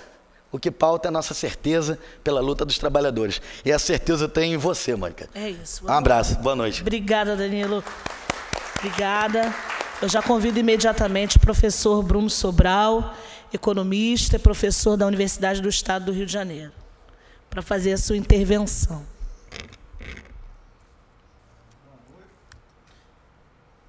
Usa aqui, usa esse aqui. Boa noite. Agora foi. É, boa noite a todos, todas e todos. É, eu sou Bruno Sobral. É, eu queria agradecer o convite da, da deputada Mônica. É uma honra estar aqui. Acho que todas as vezes que ela me convidou para conversar com a comissão do trabalho, né? Eu, eu, nunca faltei, né? Acho que desde o primeiro ano, né, Mônica, né? e sempre me orgulhou muito o, o, trabalho, a atuação dela à frente, né, porque ela sempre foi é, uma pessoa interessada em querer ouvir, em querer discutir, em querer saber mais sobre é, outras possibilidades de pensar aquilo que ela estava ali, e desde sempre, né? É, buscando entender esse mundo do trabalho, mas entendendo isso numa perspectiva, né, Mauro, que é do desenvolvimento econômico também, né, ou seja, não é só trazendo, evidentemente, a representação que ela representa, mas entendendo isso dentro dessa perspectiva macro, né, ou seja, do problema do Rio de Janeiro, de como recuperar a economia do Rio de Janeiro, de todos os desafios para isso. E isso é algo que sempre me orgulhou bastante no mandato dela. Né? Tanto me orgulhou né, que aqui saúdo né, o Emanuel, que está no mandato dela, aluno da UERJ, que passou em primeiro lugar na Unicamp para mestrado que então acho que a contribuição que ele deu e, e muito disso, né, também ali desde o início ali também está aqui o, o, Bruno Cabral ali é, foi um dos bolsistas da Rede Pro Rio, o Bruno Miranda que é, prof, é ali a professor, não, ele é, ele é técnico, né, mas que ajuda ali na, no, no grupo Teotônio dos Santos e faz parte aqui da mandata também aqui né, na base dela. Então, tudo isso, nesse entorno aqui, eu me sinto muito representado, né? E acho que vocês fizeram um trabalho excepcional, né? Claro que com a vinda do Mauro para a comissão, aqui para a assessoria fiscal da LERJ, isso só se engrandeceu. Né, porque aí, e faço já votos aqui, o Mauro tem meu apoio na hora que precisar renovar para continuar a assessoria, né? Que bom que é, o presidente André Siciliano teve a preocupação de garantir o mandato para assessoria fiscal. Isso é sempre importante para não coincidir, né, com essa às vezes mudança de, de um período eleitoral para o outro. E com certeza é, faço votos que o Mauro continue. Espero que ele queira também, mas faço já votos que ele continue porque a figura dele é sempre muito representativa e só ajuda que a Casa Parlamentar. É um enorme prazer sempre estar fazendo debate, tendo ele como interlocutor. É, parte do convite aqui foi em virtude de a gente ter o projeto ali da Rede Pro Rio, na UERJ. Né, é um projeto que surge todo esse movimento de crise do Estado, de defesa da universidade pública, de tentar né, e aí já respondendo né, uma provocação que o Mauro, você falou que o Mauro faz para você, fez para a gente ali, de que a Universidade do Estado do Rio de Janeiro não seja mais uma federal. Né, então, esse intuito de, a partir da UERJ, não só da UERJ, mas a partir da UERJ, ela assumia essa, essa, essa figura de estar, sim, querendo debater Rio de Janeiro, chamar, participar dos debates, chamar pares de outras universidades. E espero que, claro, com os desafios que sempre se faz, estruturar um projeto desse, a gente esteja conseguindo avançar. Para finalizar, é, como bem sabe a, a Mônica, eu também estou num cargo dentro do governo, né, como subsecretário. Parte disso, né, sempre sendo crítico ao regime de recuperação, a gente ajudou a elaborar o, plano, o novo plano de recuperação. E eu só faço uma fala que eu acho que é muito importante, né? Que é importante diferenciar o regime de recuperação e todas as críticas que o regime de recuperação, e grifo, todas as críticas que ele merece. Né, o regime de recuperação é uma lei federal, é feita pelo Congresso Nacional, é um campo de lutas que merece ser revisado, né?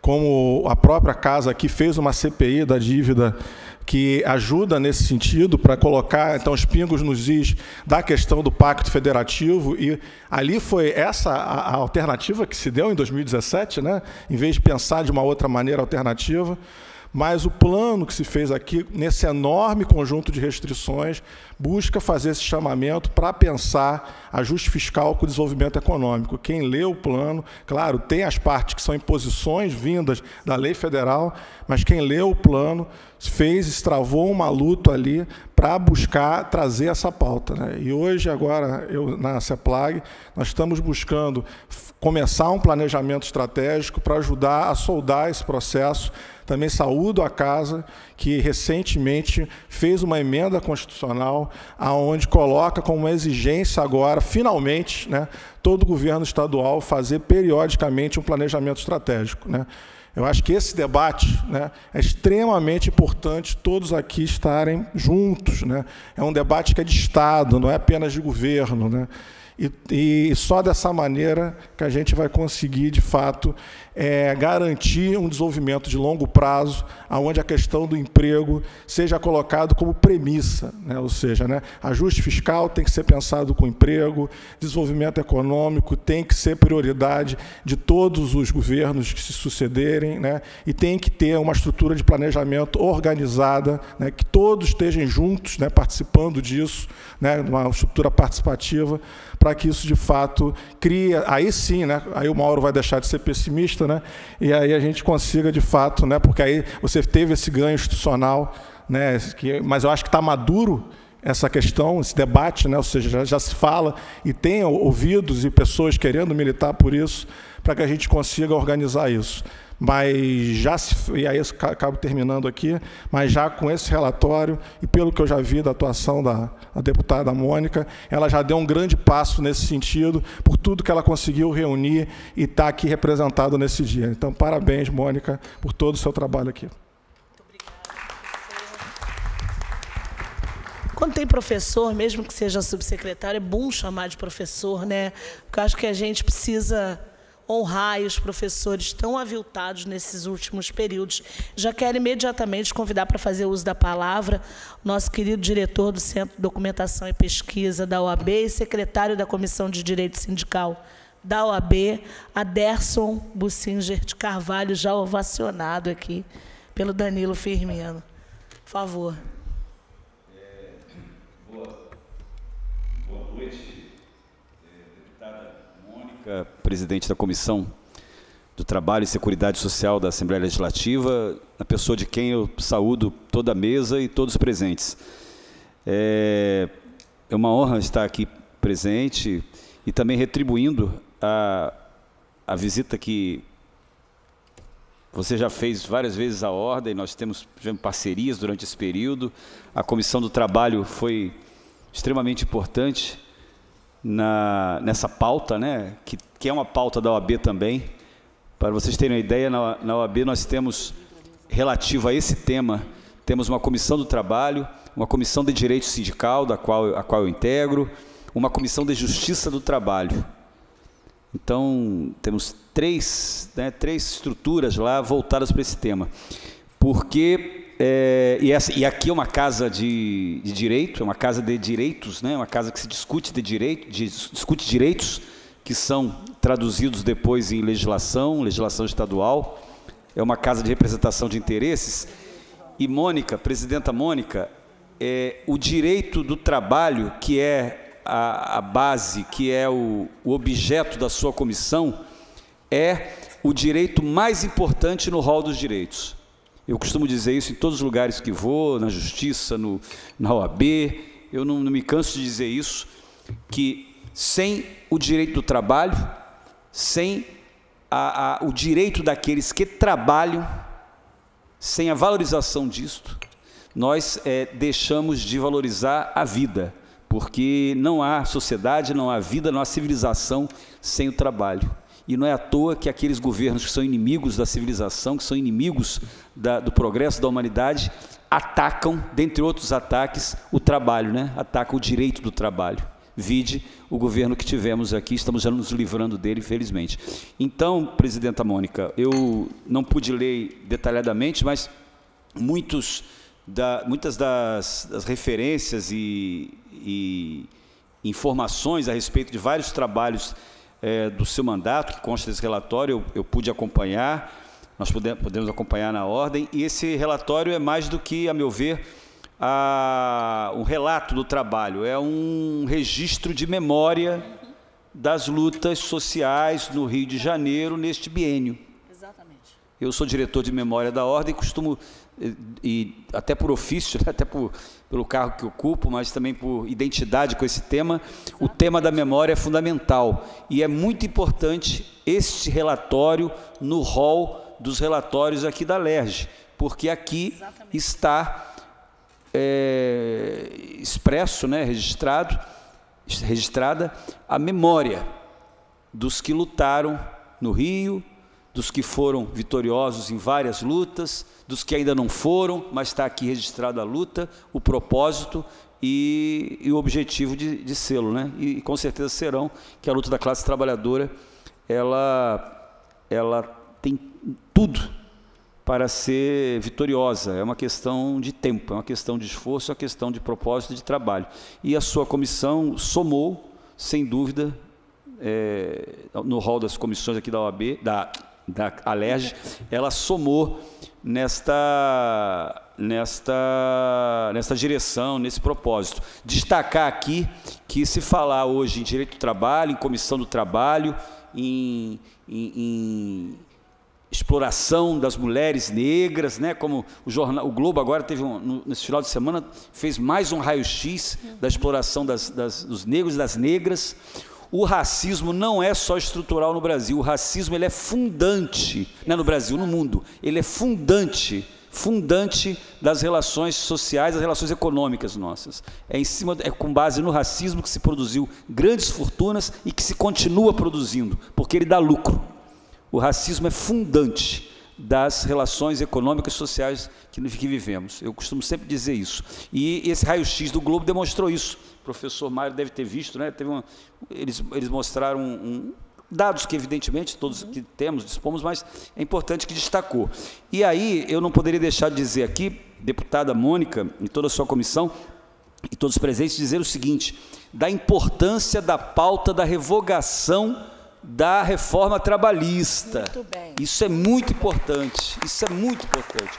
Essa comissão aqui tem como objeto o trabalho, o nosso assunto aqui é o trabalho, e nós temos no Brasil o direito do trabalho de 2017 para cá, a par já de outros retrocessos que haviam. Porque o direito do trabalho ele vem numa, numa, numa sequência de retrocessos. Desde o golpe militar de 64, quando se, se extinguiu a estabilidade decenária que havia, decenal que havia, quando se introduziu o fundo de garantia, quando foi, se foi já em um processo de a terceirização que veio já durante o regime militar. A terceirização não é fruto só de 90, ela é fruto lá da década de 60 de legislações que começaram a terceirizar, a começar pelo Estado brasileiro, pelo Estado, começaram a terceirizar o Estado, com legislação específica de terceirização. E, pois bem, a, legisla, a, a, a pauta da Revoga Já, eu faço parte do movimento Revoga Já, é uma pauta muito importante, porque se o direito do trabalho já estava até 2017, como eu disse, bastante debilitado, bastante fruto de retro, objeto de retrocesso, de 2017 para cá, a situação agravou, mas de tal maneira assim, absurda, a ponto que hoje o que prevalece da legislação, aliás, o que consta da legislação, é o negociado sobre o legislado. E como no direito do trabalho, como nas relações de patrão e de empregado, empregador e empregado, você admitir que o direito do trabalho tenha por base o negociado sobre o legislado. Onde há liberdade de negociação nesse país, onde há liberdade negocial, não existe nenhuma. Então isso significa o quê? Significa negociar negociar para permitir viabilizar a pressão patronal, viabilizar a supressão de direitos via esse dispositivo que se incluiu na reforma trabalhista. E o outro foi a terceirização, a legislação de terceirização, só para citar dois casos, né, que, eu, que, eu, considero os mais graves, que é a, a, o negociado sobre o legislado e a terceirização, que permite a terceirização total, com exceção das, das, da terceirização das equipes de, de, de aeronautas, de, de tripulação de, avião, que é a única exceção que tem no Brasil, que ainda não pode terceirizar, mas de maneira geral a terceirização nesse país está tá liberada, está liberada em todas as atividades fins, atividades fins, por lei. Por lei, nós temos um direito de trabalho que diz que o que negocia suplanta sobrepõe sobre o, o que é, sobre o que é, o que é lei, né? e o que negocia a gente sabe que é fruto da pressão, porque não temos um sindicalismo Exato. livre, Exato. e dois, a terceirização que é, está que, que tá aí legalizada. Então, para terminar, não vou me, me, me, estender muito, mas, e mais uma vez, deputada Mônica, eu realmente eu sou testemunha, eu acompanhei, eu vi o, o trabalho, e não poderia ser diferente, porque a, a deputada, como negra, trabalhadora, feminista, só poderia dar esse dar esse enfoque e cara a esta comissão, e, e realmente o fez. o fez e o relatório é a memória disto. E, por último, eu é, aqui me comprometo, se assim desejar, se me enviar por. O Rafael tem o contato direitinho. Se me enviar em meio digital este relatório, eu me comprometo a é, convertê-lo, converter esse relatório numa, numa revista especial do Centro de Documentação e Pesquisa, que é o instrumento que eu tenho de divulgação no site da Ordem. A gente só pode dizer o que, o que nós podemos fazê-lo. Né? Então, nós temos lá um, um, uma parte do site que, na qual nós publicamos revistas ordinárias e especiais. E as especiais eu reservo não só para trabalho de revistas especiais, mas também para relatórios de bons trabalhos, excelentes trabalhos como esse. E se desejarem, se me enviarem digitalmente, eu converto numa revista digital com este título: Relatório Bienal do trabalho da comissão presidida por Vossa Excelência. Tá bom? Me comprometo aqui a fazê-lo. Basta me encaminhar e pode me cobrar que o farei. Tá bom? É, boa noite aqui. Obrigada, doutora. Estamos juntos. Estamos Obrigada. juntos lutando pelo direito do trabalho. Porque sem o trabalho não tem vida, não tem sociedade. Só, só tem é miséria, é fome e, e, e, retrocesso. E vamos em frente. Muito obrigada. Obrigado. Muito obrigada. Quero já convidar para fazer o uso da palavra a nossa companheira Camila Marins, da revista Brejeira, também uma trabalhadora da comunicação, uma militante da comunicação social, jornalista e que nos auxiliou durante um tempo importante na elaboração da cartilha do orçamento, na organização, juntamente com a nossa equipe de gênero, das plenárias com mulheres para discussão do orçamento, orçamento e mulheres.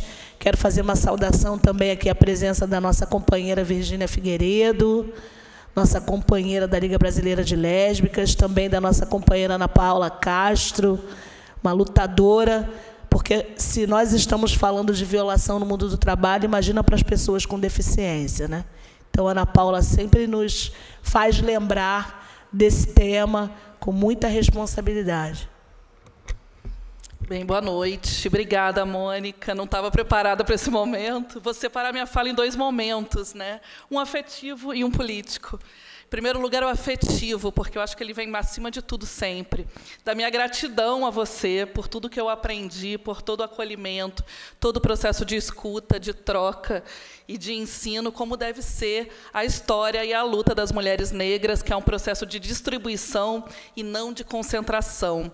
E com a Mônica, eu só tive distribuição, distribuição de conhecimento, de sabedoria, distribuição da política, porque é assim que nós, mulheres negras, sobrevivemos, né? distribuindo comida, distribuindo nossos afetos, distribuindo as nossas possibilidades de vida. No campo político, acho que é fundamental esse trabalho da Comissão do Trabalho, principalmente no que diz respeito às mulheres, porque se hoje a gente tem trabalhadores carregando comida com fome, nós temos mulheres negras carregando comida com fome, sob o risco de serem, sofrerem um assédio sexual, uma violência sexual e até mesmo serem mortas vítimas da violência policial. E a gente sabe que são as mulheres negras, principalmente sapatonas que não performam a feminilidade, que estão aí na pista com fome, trabalhando e vítimas dessa violência do Estado, que a gente precisa falar. Num outro momento, a importância do orçamento. A gente vê um orçamento completamente militarizado aqui no Estado, que destina 12 bilhões para a compra de armas e munição, enquanto para as mulheres negras, por exemplo, 5 mil reais, sem qualquer distribuição ou pensamento de moradia para as mulheres negras, ou então de educação, economia solidária e quem fez essa disputa foi esse mandato aqui, nessa alerge e nesse estado do Rio de Janeiro, porque foi um debate que foi para além do plenário, foi um debate que foi para o movimento social, foi para a sociedade, ampliando uma discussão econômica o conjunto da sociedade, porque nos dizem, nos chamam de identitários, mas eu quero dizer para vocês que a gente debate muito orçamento, economia, a gente quer debater uma política econômica que caibam todos os corpos da classe trabalhadora. E nós, que somos mulheres negras, LGBTQIA, estamos à frente das violações trabalhistas e sociais da classe trabalhadora. A Mônica muito bem diz: não farão política sem nós e não o farão.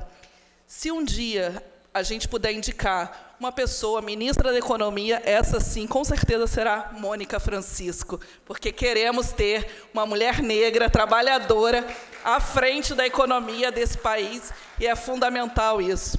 Por fim, muito obrigada, Mônica o estado do Rio de Janeiro ainda tem muito a se desenvolver. A gente passa por um processo de desindustrialização no campo estadual, de desnacionalização no campo nacional, da desnacionalização da nossa economia. A gente tem muito trabalho ainda para fazer e vamos juntas. Obrigada. Obrigada. Obrigada, Camila Marins. A recíproca é verdadeira. Eu quero convidar agora o nosso querido Vinícius Mesquita, que é presidente da OCB, Organização das Cooperativas do Brasil, para fazer uma saudação. Também saudar a presença do nosso companheiro, já posso chamar assim, né, amigo Abdul Nasser também, nosso querido assessor do Abdul, esqueci o seu nome, né? A gente se conheceu ainda há pouco, mas seja muito bem-vindo, obrigada pela sua presença. Vim para cá também. é, Mônica, muito feliz em ter você à frente da comissão, uma pessoa que tanto ajudou ao nosso segmento, ao nosso modelo econômico, que é o cooperativismo, é, e uma mulher que é um exemplo, uma mulher negra que ocupa um, um papel importante e que trabalhou em prol de trabalhadores que querem se autorregular, que estão determinados a, a empreenderem coletivamente e fazerem com que a riqueza do trabalho deles fique na mão deles.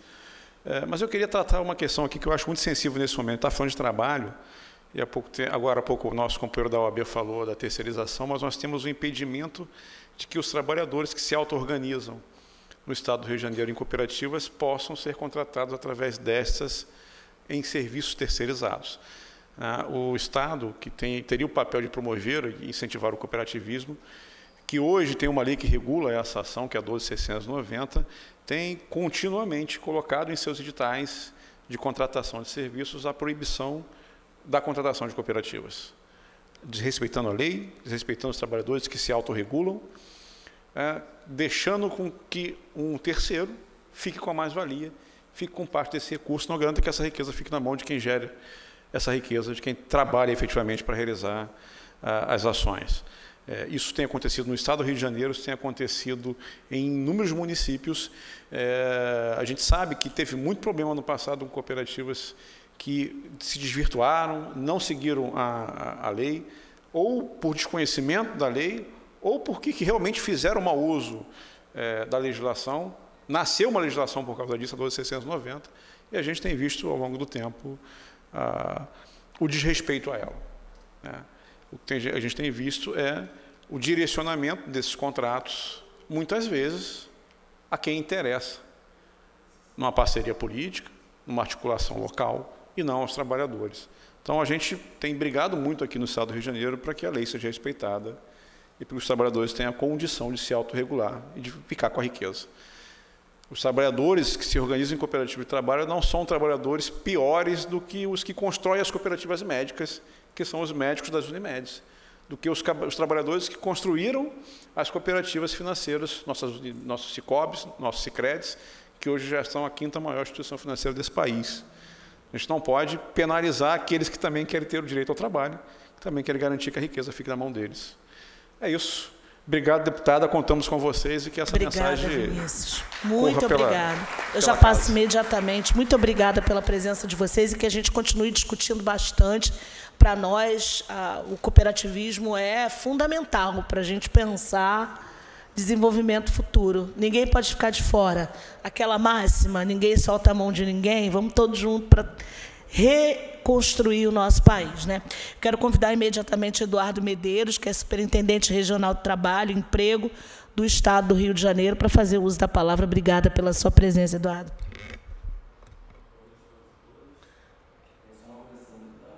Eu sou, eu sou analista de políticas públicas, o superintendente da, é, o, é o Alex Bolsas, no qual estou aqui a, a representá-lo.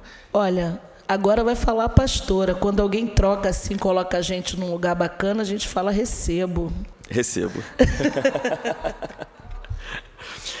é, saudações à mesa, saudações, obrigada, saudações aos presentes, é, e também saudação à deputada já com o nosso agradecimento, em nome do Conselho Estadual de Trabalho, Emprego e Renda, é, pela sua proximidade com o Conselho, na pessoa do Rafael, que eu saúdo também. É muito importante essa, esse papel da, da, da LERJ estar junto com o Conselho, né, dentro desse, desse panorama que nós vivemos né, nos últimos seis anos, com ataques sucessivos aos trabalhadores, como os colegas bem colocaram. E eu gostaria de fazer um recorte, pegando o gancho do colega da UAB, que não basta só a gente lutar por direitos trabalhistas, mas sim por direitos ao trabalho decente. Né? Esse recorte, por exemplo, do novo empreendedor, é onde a gente vê os nossos jovens pedalando debaixo de chuva, entregando comida com fome, como foi bem dito aqui. É, definitivamente, para nós que vivemos, trabalhamos e estudamos o mundo do trabalho, esse não é o futuro trabalho que nós queremos para os nossos jovens, aos nossos trabalhadores. Nós queremos trabalho decente, que ele seja, possa sim ser um empreendedor, ele possa é, se autorregular, mas que com as garantias devidas. Ele não pode ficar à mercê de uma única opção. O empreendedorismo, ele pode, ele, ele pode ser uma opção a esse trabalhador, ele deve ser uma opção, mas ele não deve ser a única opção. Nesse sentido, uh, uh, esse novo governo que vem, né, vem nos dar uma, uma luz para que a gente possa pensar em dias melhores, que vamos sim ter mais trabalho para fazer, tá? e contamos sempre com a sua rede, com a sua força, com tudo aquilo que você nos ofereceu. Muito obrigado. Muito obrigada, querido, pela sua presença. Eu já convido imediatamente nosso companheiro Célio Gari, que é um dos coordenadores do Círculo Laranja. E é importante a gente ouvir, a gente esteve presente na luta da garizada para garantir um dos trabalhos mais invisibilizados e um dos mais fundamentais. Célio, muito obrigada pela sua presença, Círculo Laranja sempre presente na luta por dignidade dos trabalhadores da limpeza urbana. Caramba, deputada. Eu vim aqui para prestigiar o seu trabalho, esse relatório bianual que você realizou juntamente com a sua equipe e com diversos profissionais da LERJ. Eu com certeza vou ler com muita atenção mas ouvi aqui várias pessoas falar sobre a sua pessoa como parlamentar. Mas eu lembro que antes de você ser uma parlamentar, você sempre se preocupou com a causa dos trabalhadores. E não basta somente ser parlamentar e ocupar uma cadeira aqui na LERJ.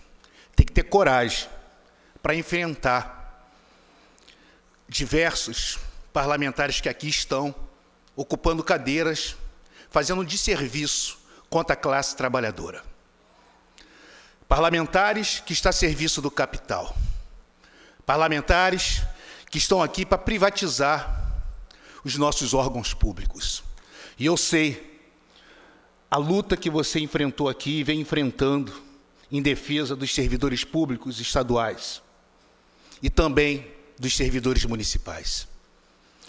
A precarização do trabalho hoje, ele se dá no governo federal, municipal e estadual. Os trabalhadores da Conlurb, por exemplo, são trabalhadores que trabalham oito horas por dia. São trabalhadores que, na sua maior parte, moram na Zona Oeste. São moradores de favela, na sua maioria negras e negros, ou pretos e pretas. Trabalhadores que acordam cedo para fazer a limpeza da nossa cidade.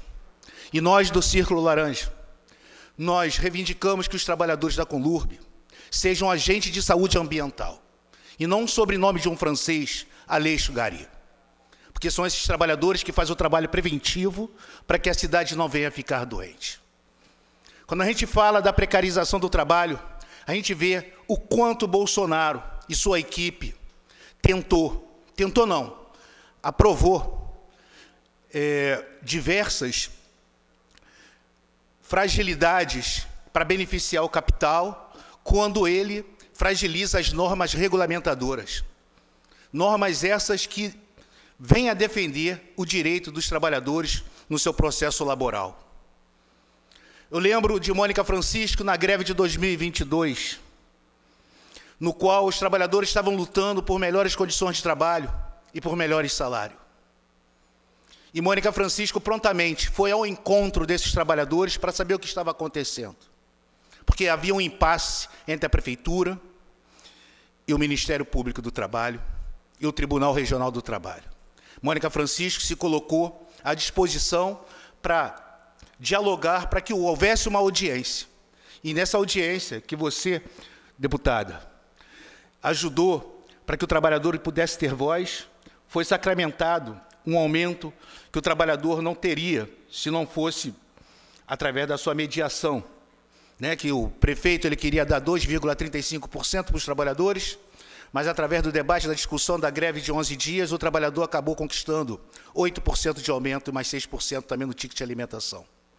E se der um aumento salarial para o servidor público estatutário, o trabalhador vai ter uma compensação em cima para que haja uma, uma seja alinhado no salário. Então, é, é com muito orgulho, sabe, deputada, que eu venho aqui dizer que você, além de ser mulher preta, é uma mulher de coragem, uma mulher que em momento nenhum abaixou a cabeça, em momento nenhum você se afastou dos trabalhadores. A gente percebe que o parlamentar ele tem compromisso com os trabalhadores quando ele faz parte de uma comissão e ele se coloca em defesa daqueles que ele representam. Porque muitas das vezes o parlamentar está aqui, faz parte de uma comissão, você não sabe nem o que ele faz no seu dia a dia.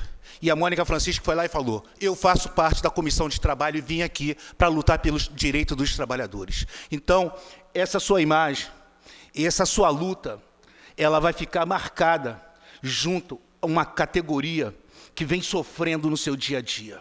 Uma categoria que nem o Estado, nem o município, nem o governo federal tiveram a sensibilidade, no momento de pandemia, onde milhares de pessoas estavam morrendo, colocaram na listagem de prioridade da vacinação.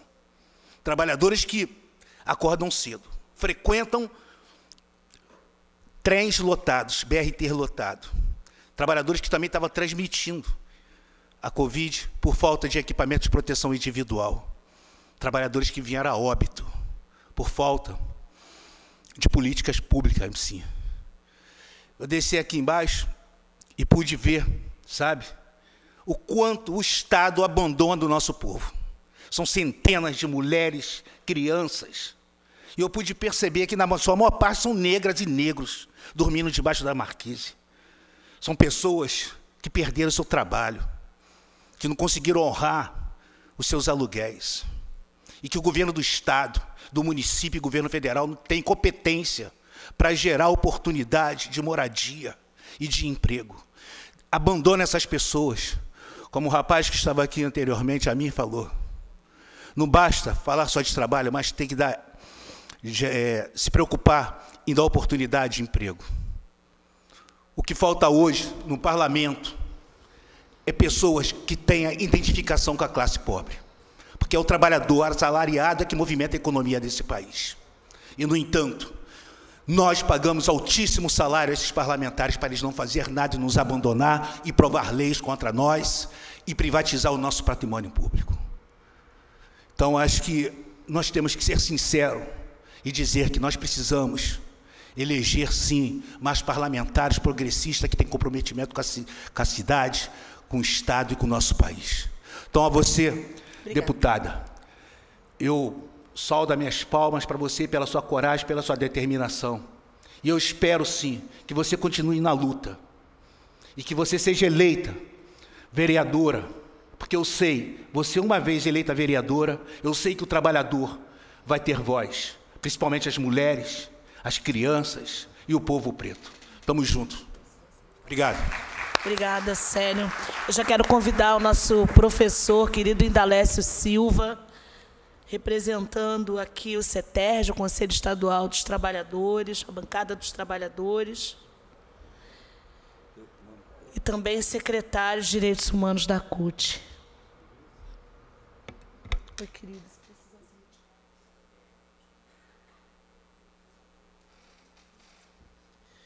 É, Primeiramente, boa noite a todos e a todos. Eu não conhecia essa pessoa maravilhosa que está ali na minha frente, a Mônica. nós, eu sou do Conselho Estadual de Emprego, sou da CUT e sou diretor do Sindicato de Metalúrgico. Eu estava escutando aqui algumas coisas que é verdadeiro. Tem umas profissões que deram a vida para salvar outras. Saúde, médico, enfermeiro. E esse estado onde a gente coloca o que você está falando, nunca tratou bem. Mas foram ele quem deram a vida, Mônica. E essa vida, eu e você discutimos em quatro comissões aqui. A plenária aqui. Discutimos, colocamos. Agora, tem outras coisas que é mais importante, que a gente fala sobre a vida. O Osório, que está aqui na minha frente, pessoa maravilhosa, eu tenho mania de falar que o Estado do Rio de Janeiro, o nosso município, ele é mais rico do que o Estado. Ele tem 43% da população. A SEDAI depende daqui de 80% de, vem desse município a, a receita. E as grandes tecnologias estão nesse município. Mas fora do município, nós temos muitos municípios importantes. Eu estou falando isso porque a Mônica, ela tem uma coisa que é maravilhosa. Primeiro, de ser negra. Segundo, de ser mulher. Mãe. E ela sabe o sofrimento que a comunidade que mora em favelas passa. Principalmente duas favelas que estão vivendo uma crise. A do Jacaré, que está ocupada há 10 meses pela polícia, e aí Manguinhos. Por que nós estamos colocando isso? Porque ali tem dois pontos importantes de ferrovia que as pessoas trabalham. E eu estava, como eu sou do Conselho Estadual de Emprego e Renda, eu estava discutindo que os bandidos construíram entre a escola, a escola de samba e a escola, traparam a rua lá em Manguinhos. A pessoa tinha que andar quase um quilômetro para ir novamente apanhar o trem. Sabe o que é um quilômetro andar a pé? Essas pessoas correm há quatro horas.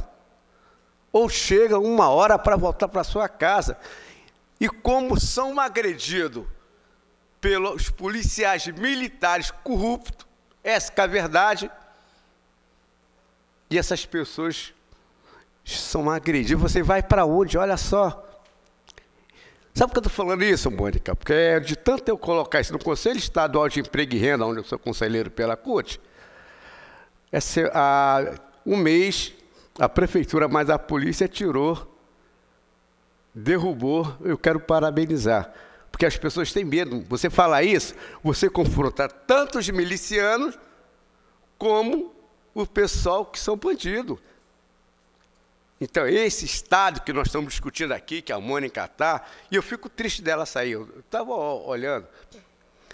Porque nós debatemos, fizemos grande assembleia, grande participação, e aí nós temos que discutir algumas coisas que é importante quando a gente fala de emprego e renda.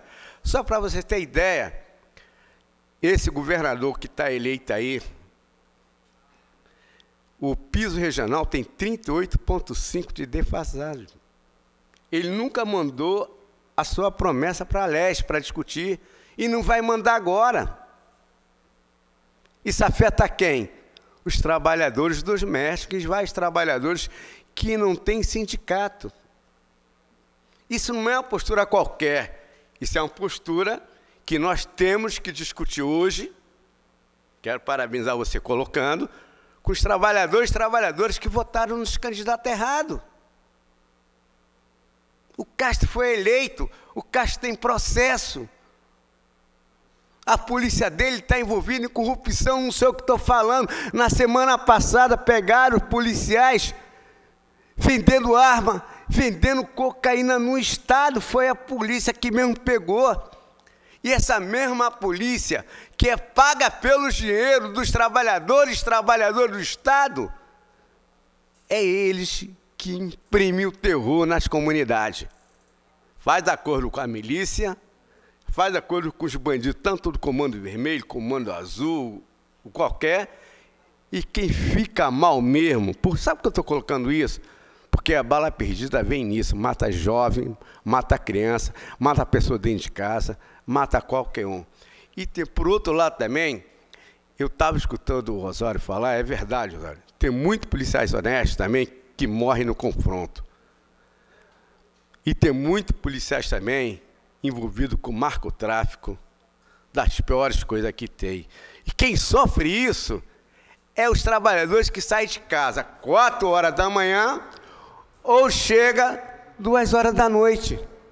Eu queria agradecer, colocar, Mônica, estou à disposição, qualquer coisa que você precisar de mim, tanto na CUT, Obrigada. eu estou aí, parabenizar a todos e a todas. Eu quero. Fico triste você não ser eleita. Vou te falar por quê antes de eu encerrar. É uma mulher guerreira. É uma mulher que sabe a dor dos sofrimentos que é negra, que tem filho, que é carente, que passou por todas as dificuldades na vida. E aqui, infelizmente, nós trabalhadores temos que discutir com as nossas comunidades, que seja qualquer, que nós estamos votando errado. Eu, com todo coisa que eu quero falar na vida, que eu já dei aula, sou engenheiro, mas é muito triste isso. Obrigado, Mônica, desculpa. Obrigada, meu querido. Não, não precisa pedir desculpa. É só porque a gente quer encerrar às nove, talvez a gente passe cinco minutinhos, porque eu sei que está todo mundo muito cansado, mas um evento como esse é impossível a gente não abrir para as falas, porque a gente precisa da fala para a nossa classe trabalhadora. Né? E é muito importante a ocupação desse espaço. É, eu quero convidar já imediatamente para fazer uso da palavra. O Bruno já foi, né? Acho que o Bruno já foi. Então, eu quero convidar imediatamente para fazer o uso da palavra o Wagner Bezerra, da Sinfito, Sindicato dos Fisioterapeutas. Por favor, Wagner. Eu não sei se esse microfone está funcionando, que é até mais rápido. Pode ir para a tribuna, por favor. Vamos ocupar.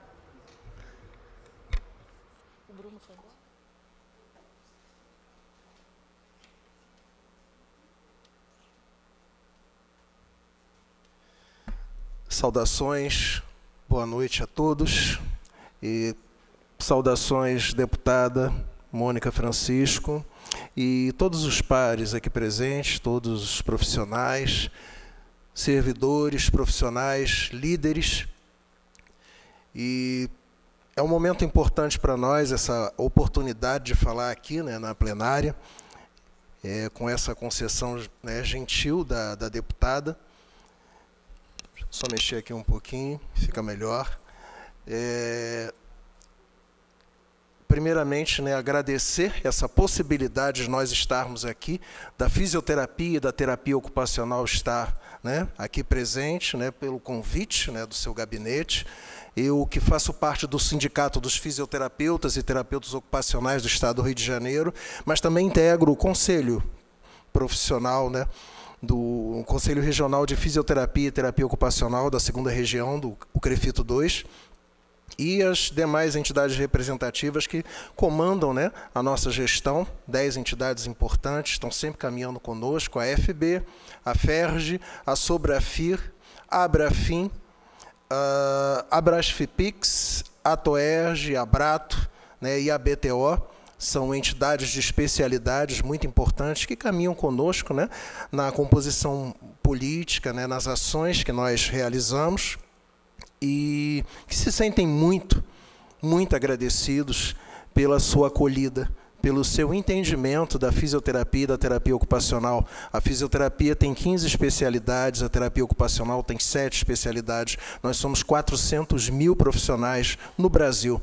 Aqui no Rio de Janeiro somos um pouco mais de 60 mil profissionais. 15 especialidades, como eu disse, na fisioterapia e 7 na terapia ocupacional, e que cresceu muito no período da pandemia. Né? É, esse enfrentamento da Covid foi muito importante né, para dar esse assento, para dar essa, esse vislumbre às profissões da fisioterapia e da terapia ocupacional e ali pudemos né, mostrar uma parte importante e significativa da fisioterapia. Nós podemos mostrar muito mais dentro das especialidades, e é importante né, falar aqui dentro desse plenário, nesse espaço onde nós temos leis que precisam ser aprovadas, e diretamente nós queremos agradecer a sua acolhida, a sua sensibilidade em acolher a nossa PL 3446, que se tornou a Lei 9859, que é a lei do APL né, era a PL do descanso dos fisioterapeutas, né, que para nós, né, sempre sabedores de situações inusitadas, né, é, desumanas até, é, relegadas né, ao fisioterapeuta, onde eles não tinham condições de descansar né, em lugares apropriados, às vezes até no chão. Então, isso foi naturalmente combatido. Né? Nós conhecemos a trajetória da deputada em estar sempre né, nesse combate às situações discriminatórias, restritivas, e com muito empenho e com muita sensibilidade acolheu a nossa, o nosso tema defendeu aqui bravamente e conseguiu a aprovação dessa lei, que é um impulso importante para nós e que faz parte exatamente do reconhecimento dessas profissões aqui dentro dessa casa. E nós queremos, é, deputada, e eu vou continuar, nós vamos continuar tratando a deputada dessa maneira, independente do que aconteceu. Tá? É, Para nós é tão importante nós termos parlamentares, pessoas aqui dentro dessa casa com a ciência, o entendimento do que significa fisioterapia, terapia ocupacional e o quanto nós podemos contribuir nas políticas de saúde pública. É fundamental. É, a participação de todos né, nesse entendimento e as, as, entidades representativas estão à disposição de todos os senhores para poder explicar as técnicas, né, as intervenções que nós podemos fazer, porque nós atuamos nos tratamentos, nas promoções e nas prevenções de saúde, né, na baixa, na média e na alta complexidade e que o mundo possa, né, o mundo da política possa entender melhor e com mais profundidade o sentido né, dessas, dessas importantes ciências da saúde, a fisioterapia, a terapia ocupacional. Não quero é, tomar o tempo, porque existem outras lideranças importantes que precisam né, ser é, ouvidas aqui, e queria deixar em nome né, de todas as entidades representativas o nosso agradecimento, deputada, ao seu gabinete, ao seu empenho né, em defender essa pauta que foi tão importante para nós e nós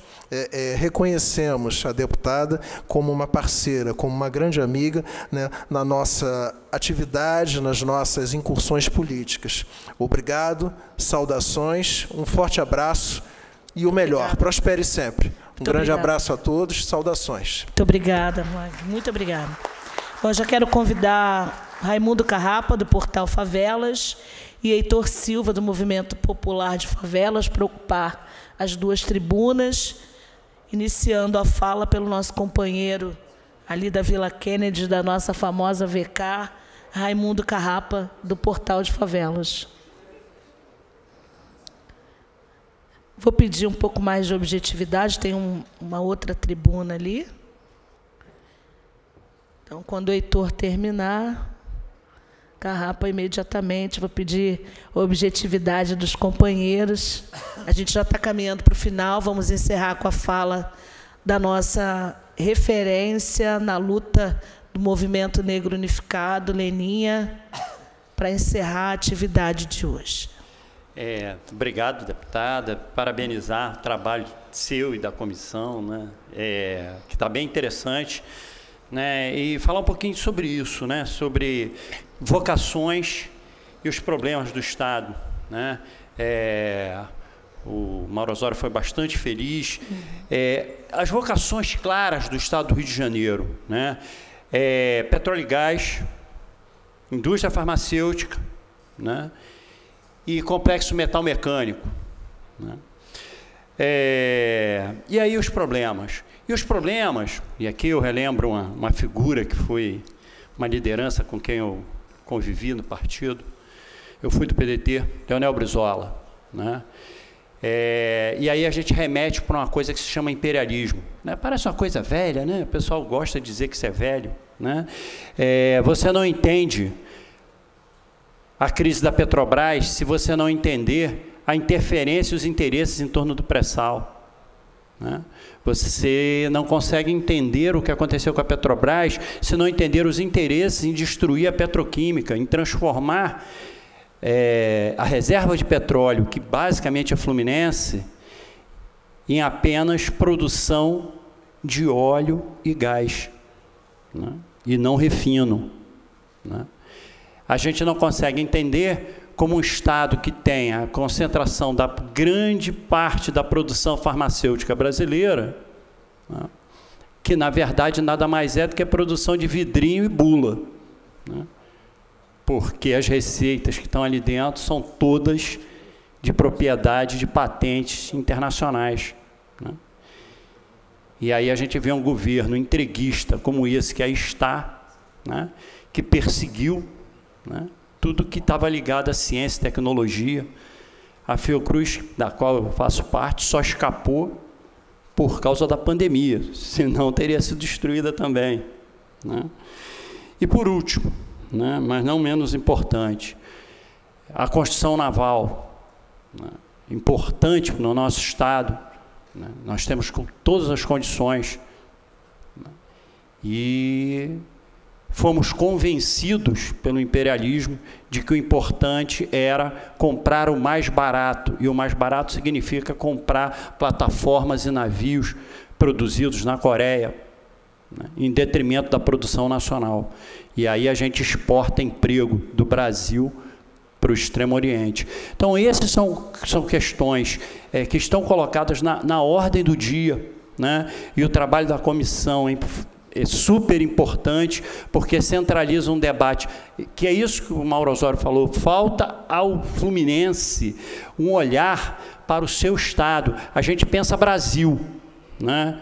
E isso é uma característica nossa, não é, por exemplo, uma característica dos paulistas, né? que não tiveram o menor problema em aprovar a Lei Candir, né? que saqueia Rio de Janeiro e Minas Gerais. Minas Gerais por causa dos minérios e o Rio de Janeiro por causa do petróleo. Se não tivesse a Lei Candir, nós não estaríamos hoje no buraco fiscal que nós estamos. Então falta, terminando, falta ao povo fluminense essa visão mais voltada para si. Né? Devemos ser generosos. Aqui no, aqui no Rio de Janeiro é assim, né? O nosso jornal é o Globo. Né? Aí quando você olha o São Paulo, é o Estado de São Paulo, né? a Folha de São Paulo, né? Nos falta um pouco essa visão, que ela é fundamental para a gente poder se posicionar no debate nacional a partir dessas vocações. Construção naval, petróleo e gás e indústria farmacêutica. Mas nenhuma delas se concretiza se nós não enfrentarmos o imperialismo. Obrigado. Muito obrigada, Heitor. Maravilhoso, como sempre. Antes de passar a palavra para o Carrapa, eu quero saudar também a presença de Rafael Massoto, trabalhador da cultura, também tão combatida nesse período né, nefasto do governo Bolsonaro. Então a gente tem que ressaltar aqui a resistência da cultura, das artes nesse período tão importante para a nossa saúde mental. Obrigada, Massoto, pela sua presença. Também a presença do seu Oswaldo aqui do MNU, uma figura ímpar, né? maravilhoso demais. Carrapa, por favor. Bom, é, normalmente quando alguém de esquerda fala assim, eu vou ser mais breve possível, ele está mentindo. Mas acreditem, eu estou falando a verdade. Até porque eu moro na Vila Kennedy, Vila Kennedy fica na zona oeste do Rio, e o meu ônibus só, só, só funciona até nove e meia. Então eu tenho 30 minutos para sair daqui, pegar a condução e voltar para casa. E antes do tiroteio de 10 horas, porque senão eu posso passar mal por lá. Bom, pessoal, a gente está vendo aqui essa questão do trabalho, Mônica, e, e todos e todas presentes. O trabalho ele começa quando você sai de casa. E nessa saída de casa é exatamente o problema que a gente que mora na Zona Oeste enfrenta. A gente enfrenta o problema do transporte. O transporte na Zona Oeste é muito ruim. As linhas de ônibus desapareceram. E principalmente no local onde eu moro, não tem acesso a trem. Para eu pegar o trem, eu tenho que pegar um ônibus. Então, seria até interessante que a Mônica Benício tivesse aqui, porque seria um reforço para a gente apresentar essa denúncia, isso em termos de denúncia, é, na, na, na questão do deslocamento, da mobilidade para a gente trabalhar. Entendeu? Eu, por exemplo, morando lá onde moro, eu eu trabalho em Copacabana. E em Copacabana, é, é, para eu não chegar atrasado, o meu patrão, que, vamos ressaltar aqui, é bolsonarista, ele paga a passagem do metrô. E eu já estou começando a me tornar um funcionário muito caro. E eu tenho 58 anos de idade. Quer dizer, Eu vi o, perdão, eu vi o, o companheiro presidente municipal do PSOL dizer por que o Bolsonaro cortou o direito da minha geração de se aposentar. Não é só a geração dele, a minha também. Eu não consegui me aposentar porque na minha época existia a, a aposentadoria proporcional e a lei que o Bolsonaro assinou acabou de vez por todas com essa possibilidade. Para terminar, e é verdade, para terminar mesmo, pelas falas que eu tenho escutado aqui, e não só aqui nessa casa, nessa plenária, mas até pelas ruas, todo governo, todo governo que termina, ele deixa um legado. O governo do Bolsonaro vai deixar sequelas. Boa noite a todos.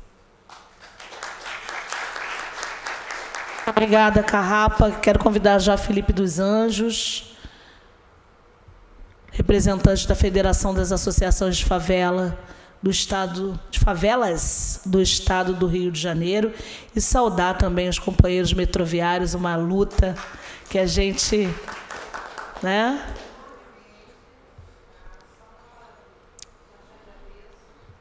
A luta foi de vocês.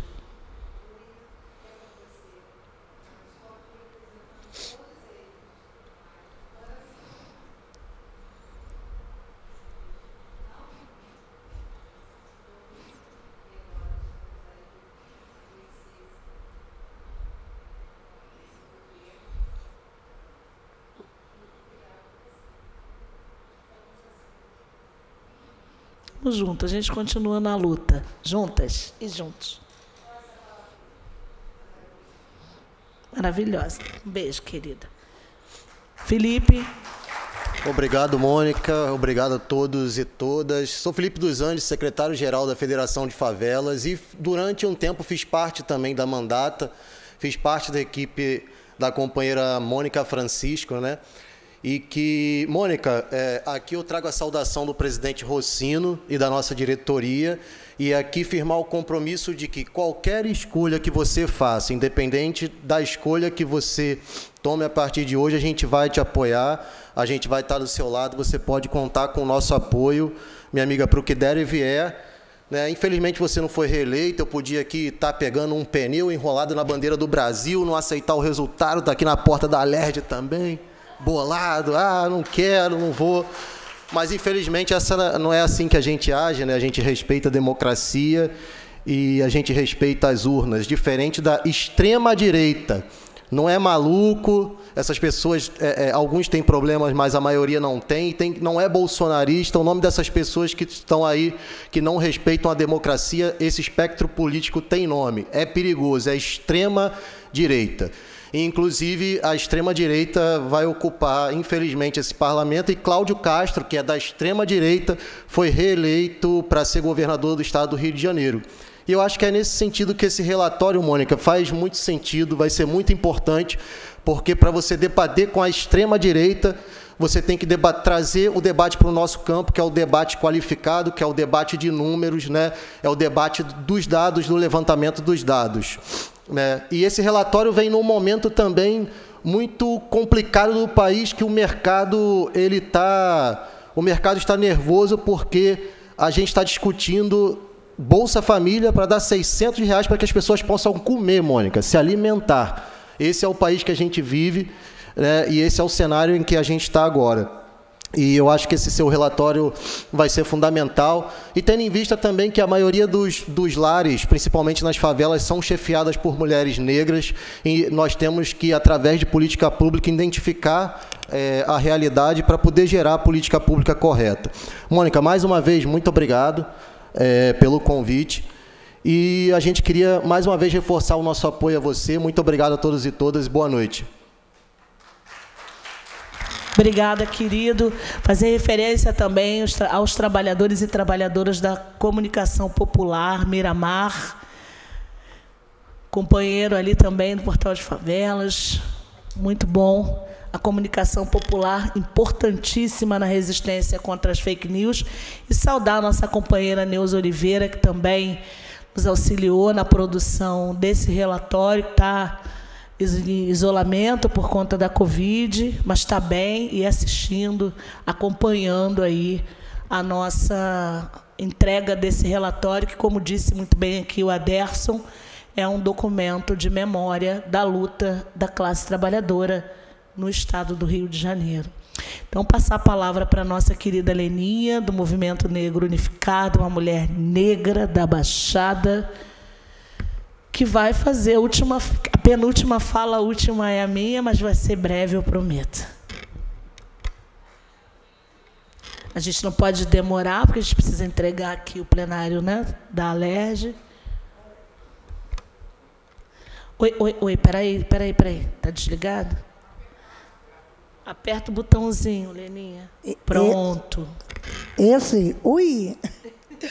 Bom, é, começando assim dizendo, é, fazendo uma saudação quilombolas a todas e a todos, dizer que é, obrigada por todo o carinho e atenção é, que vocês têm tido comigo.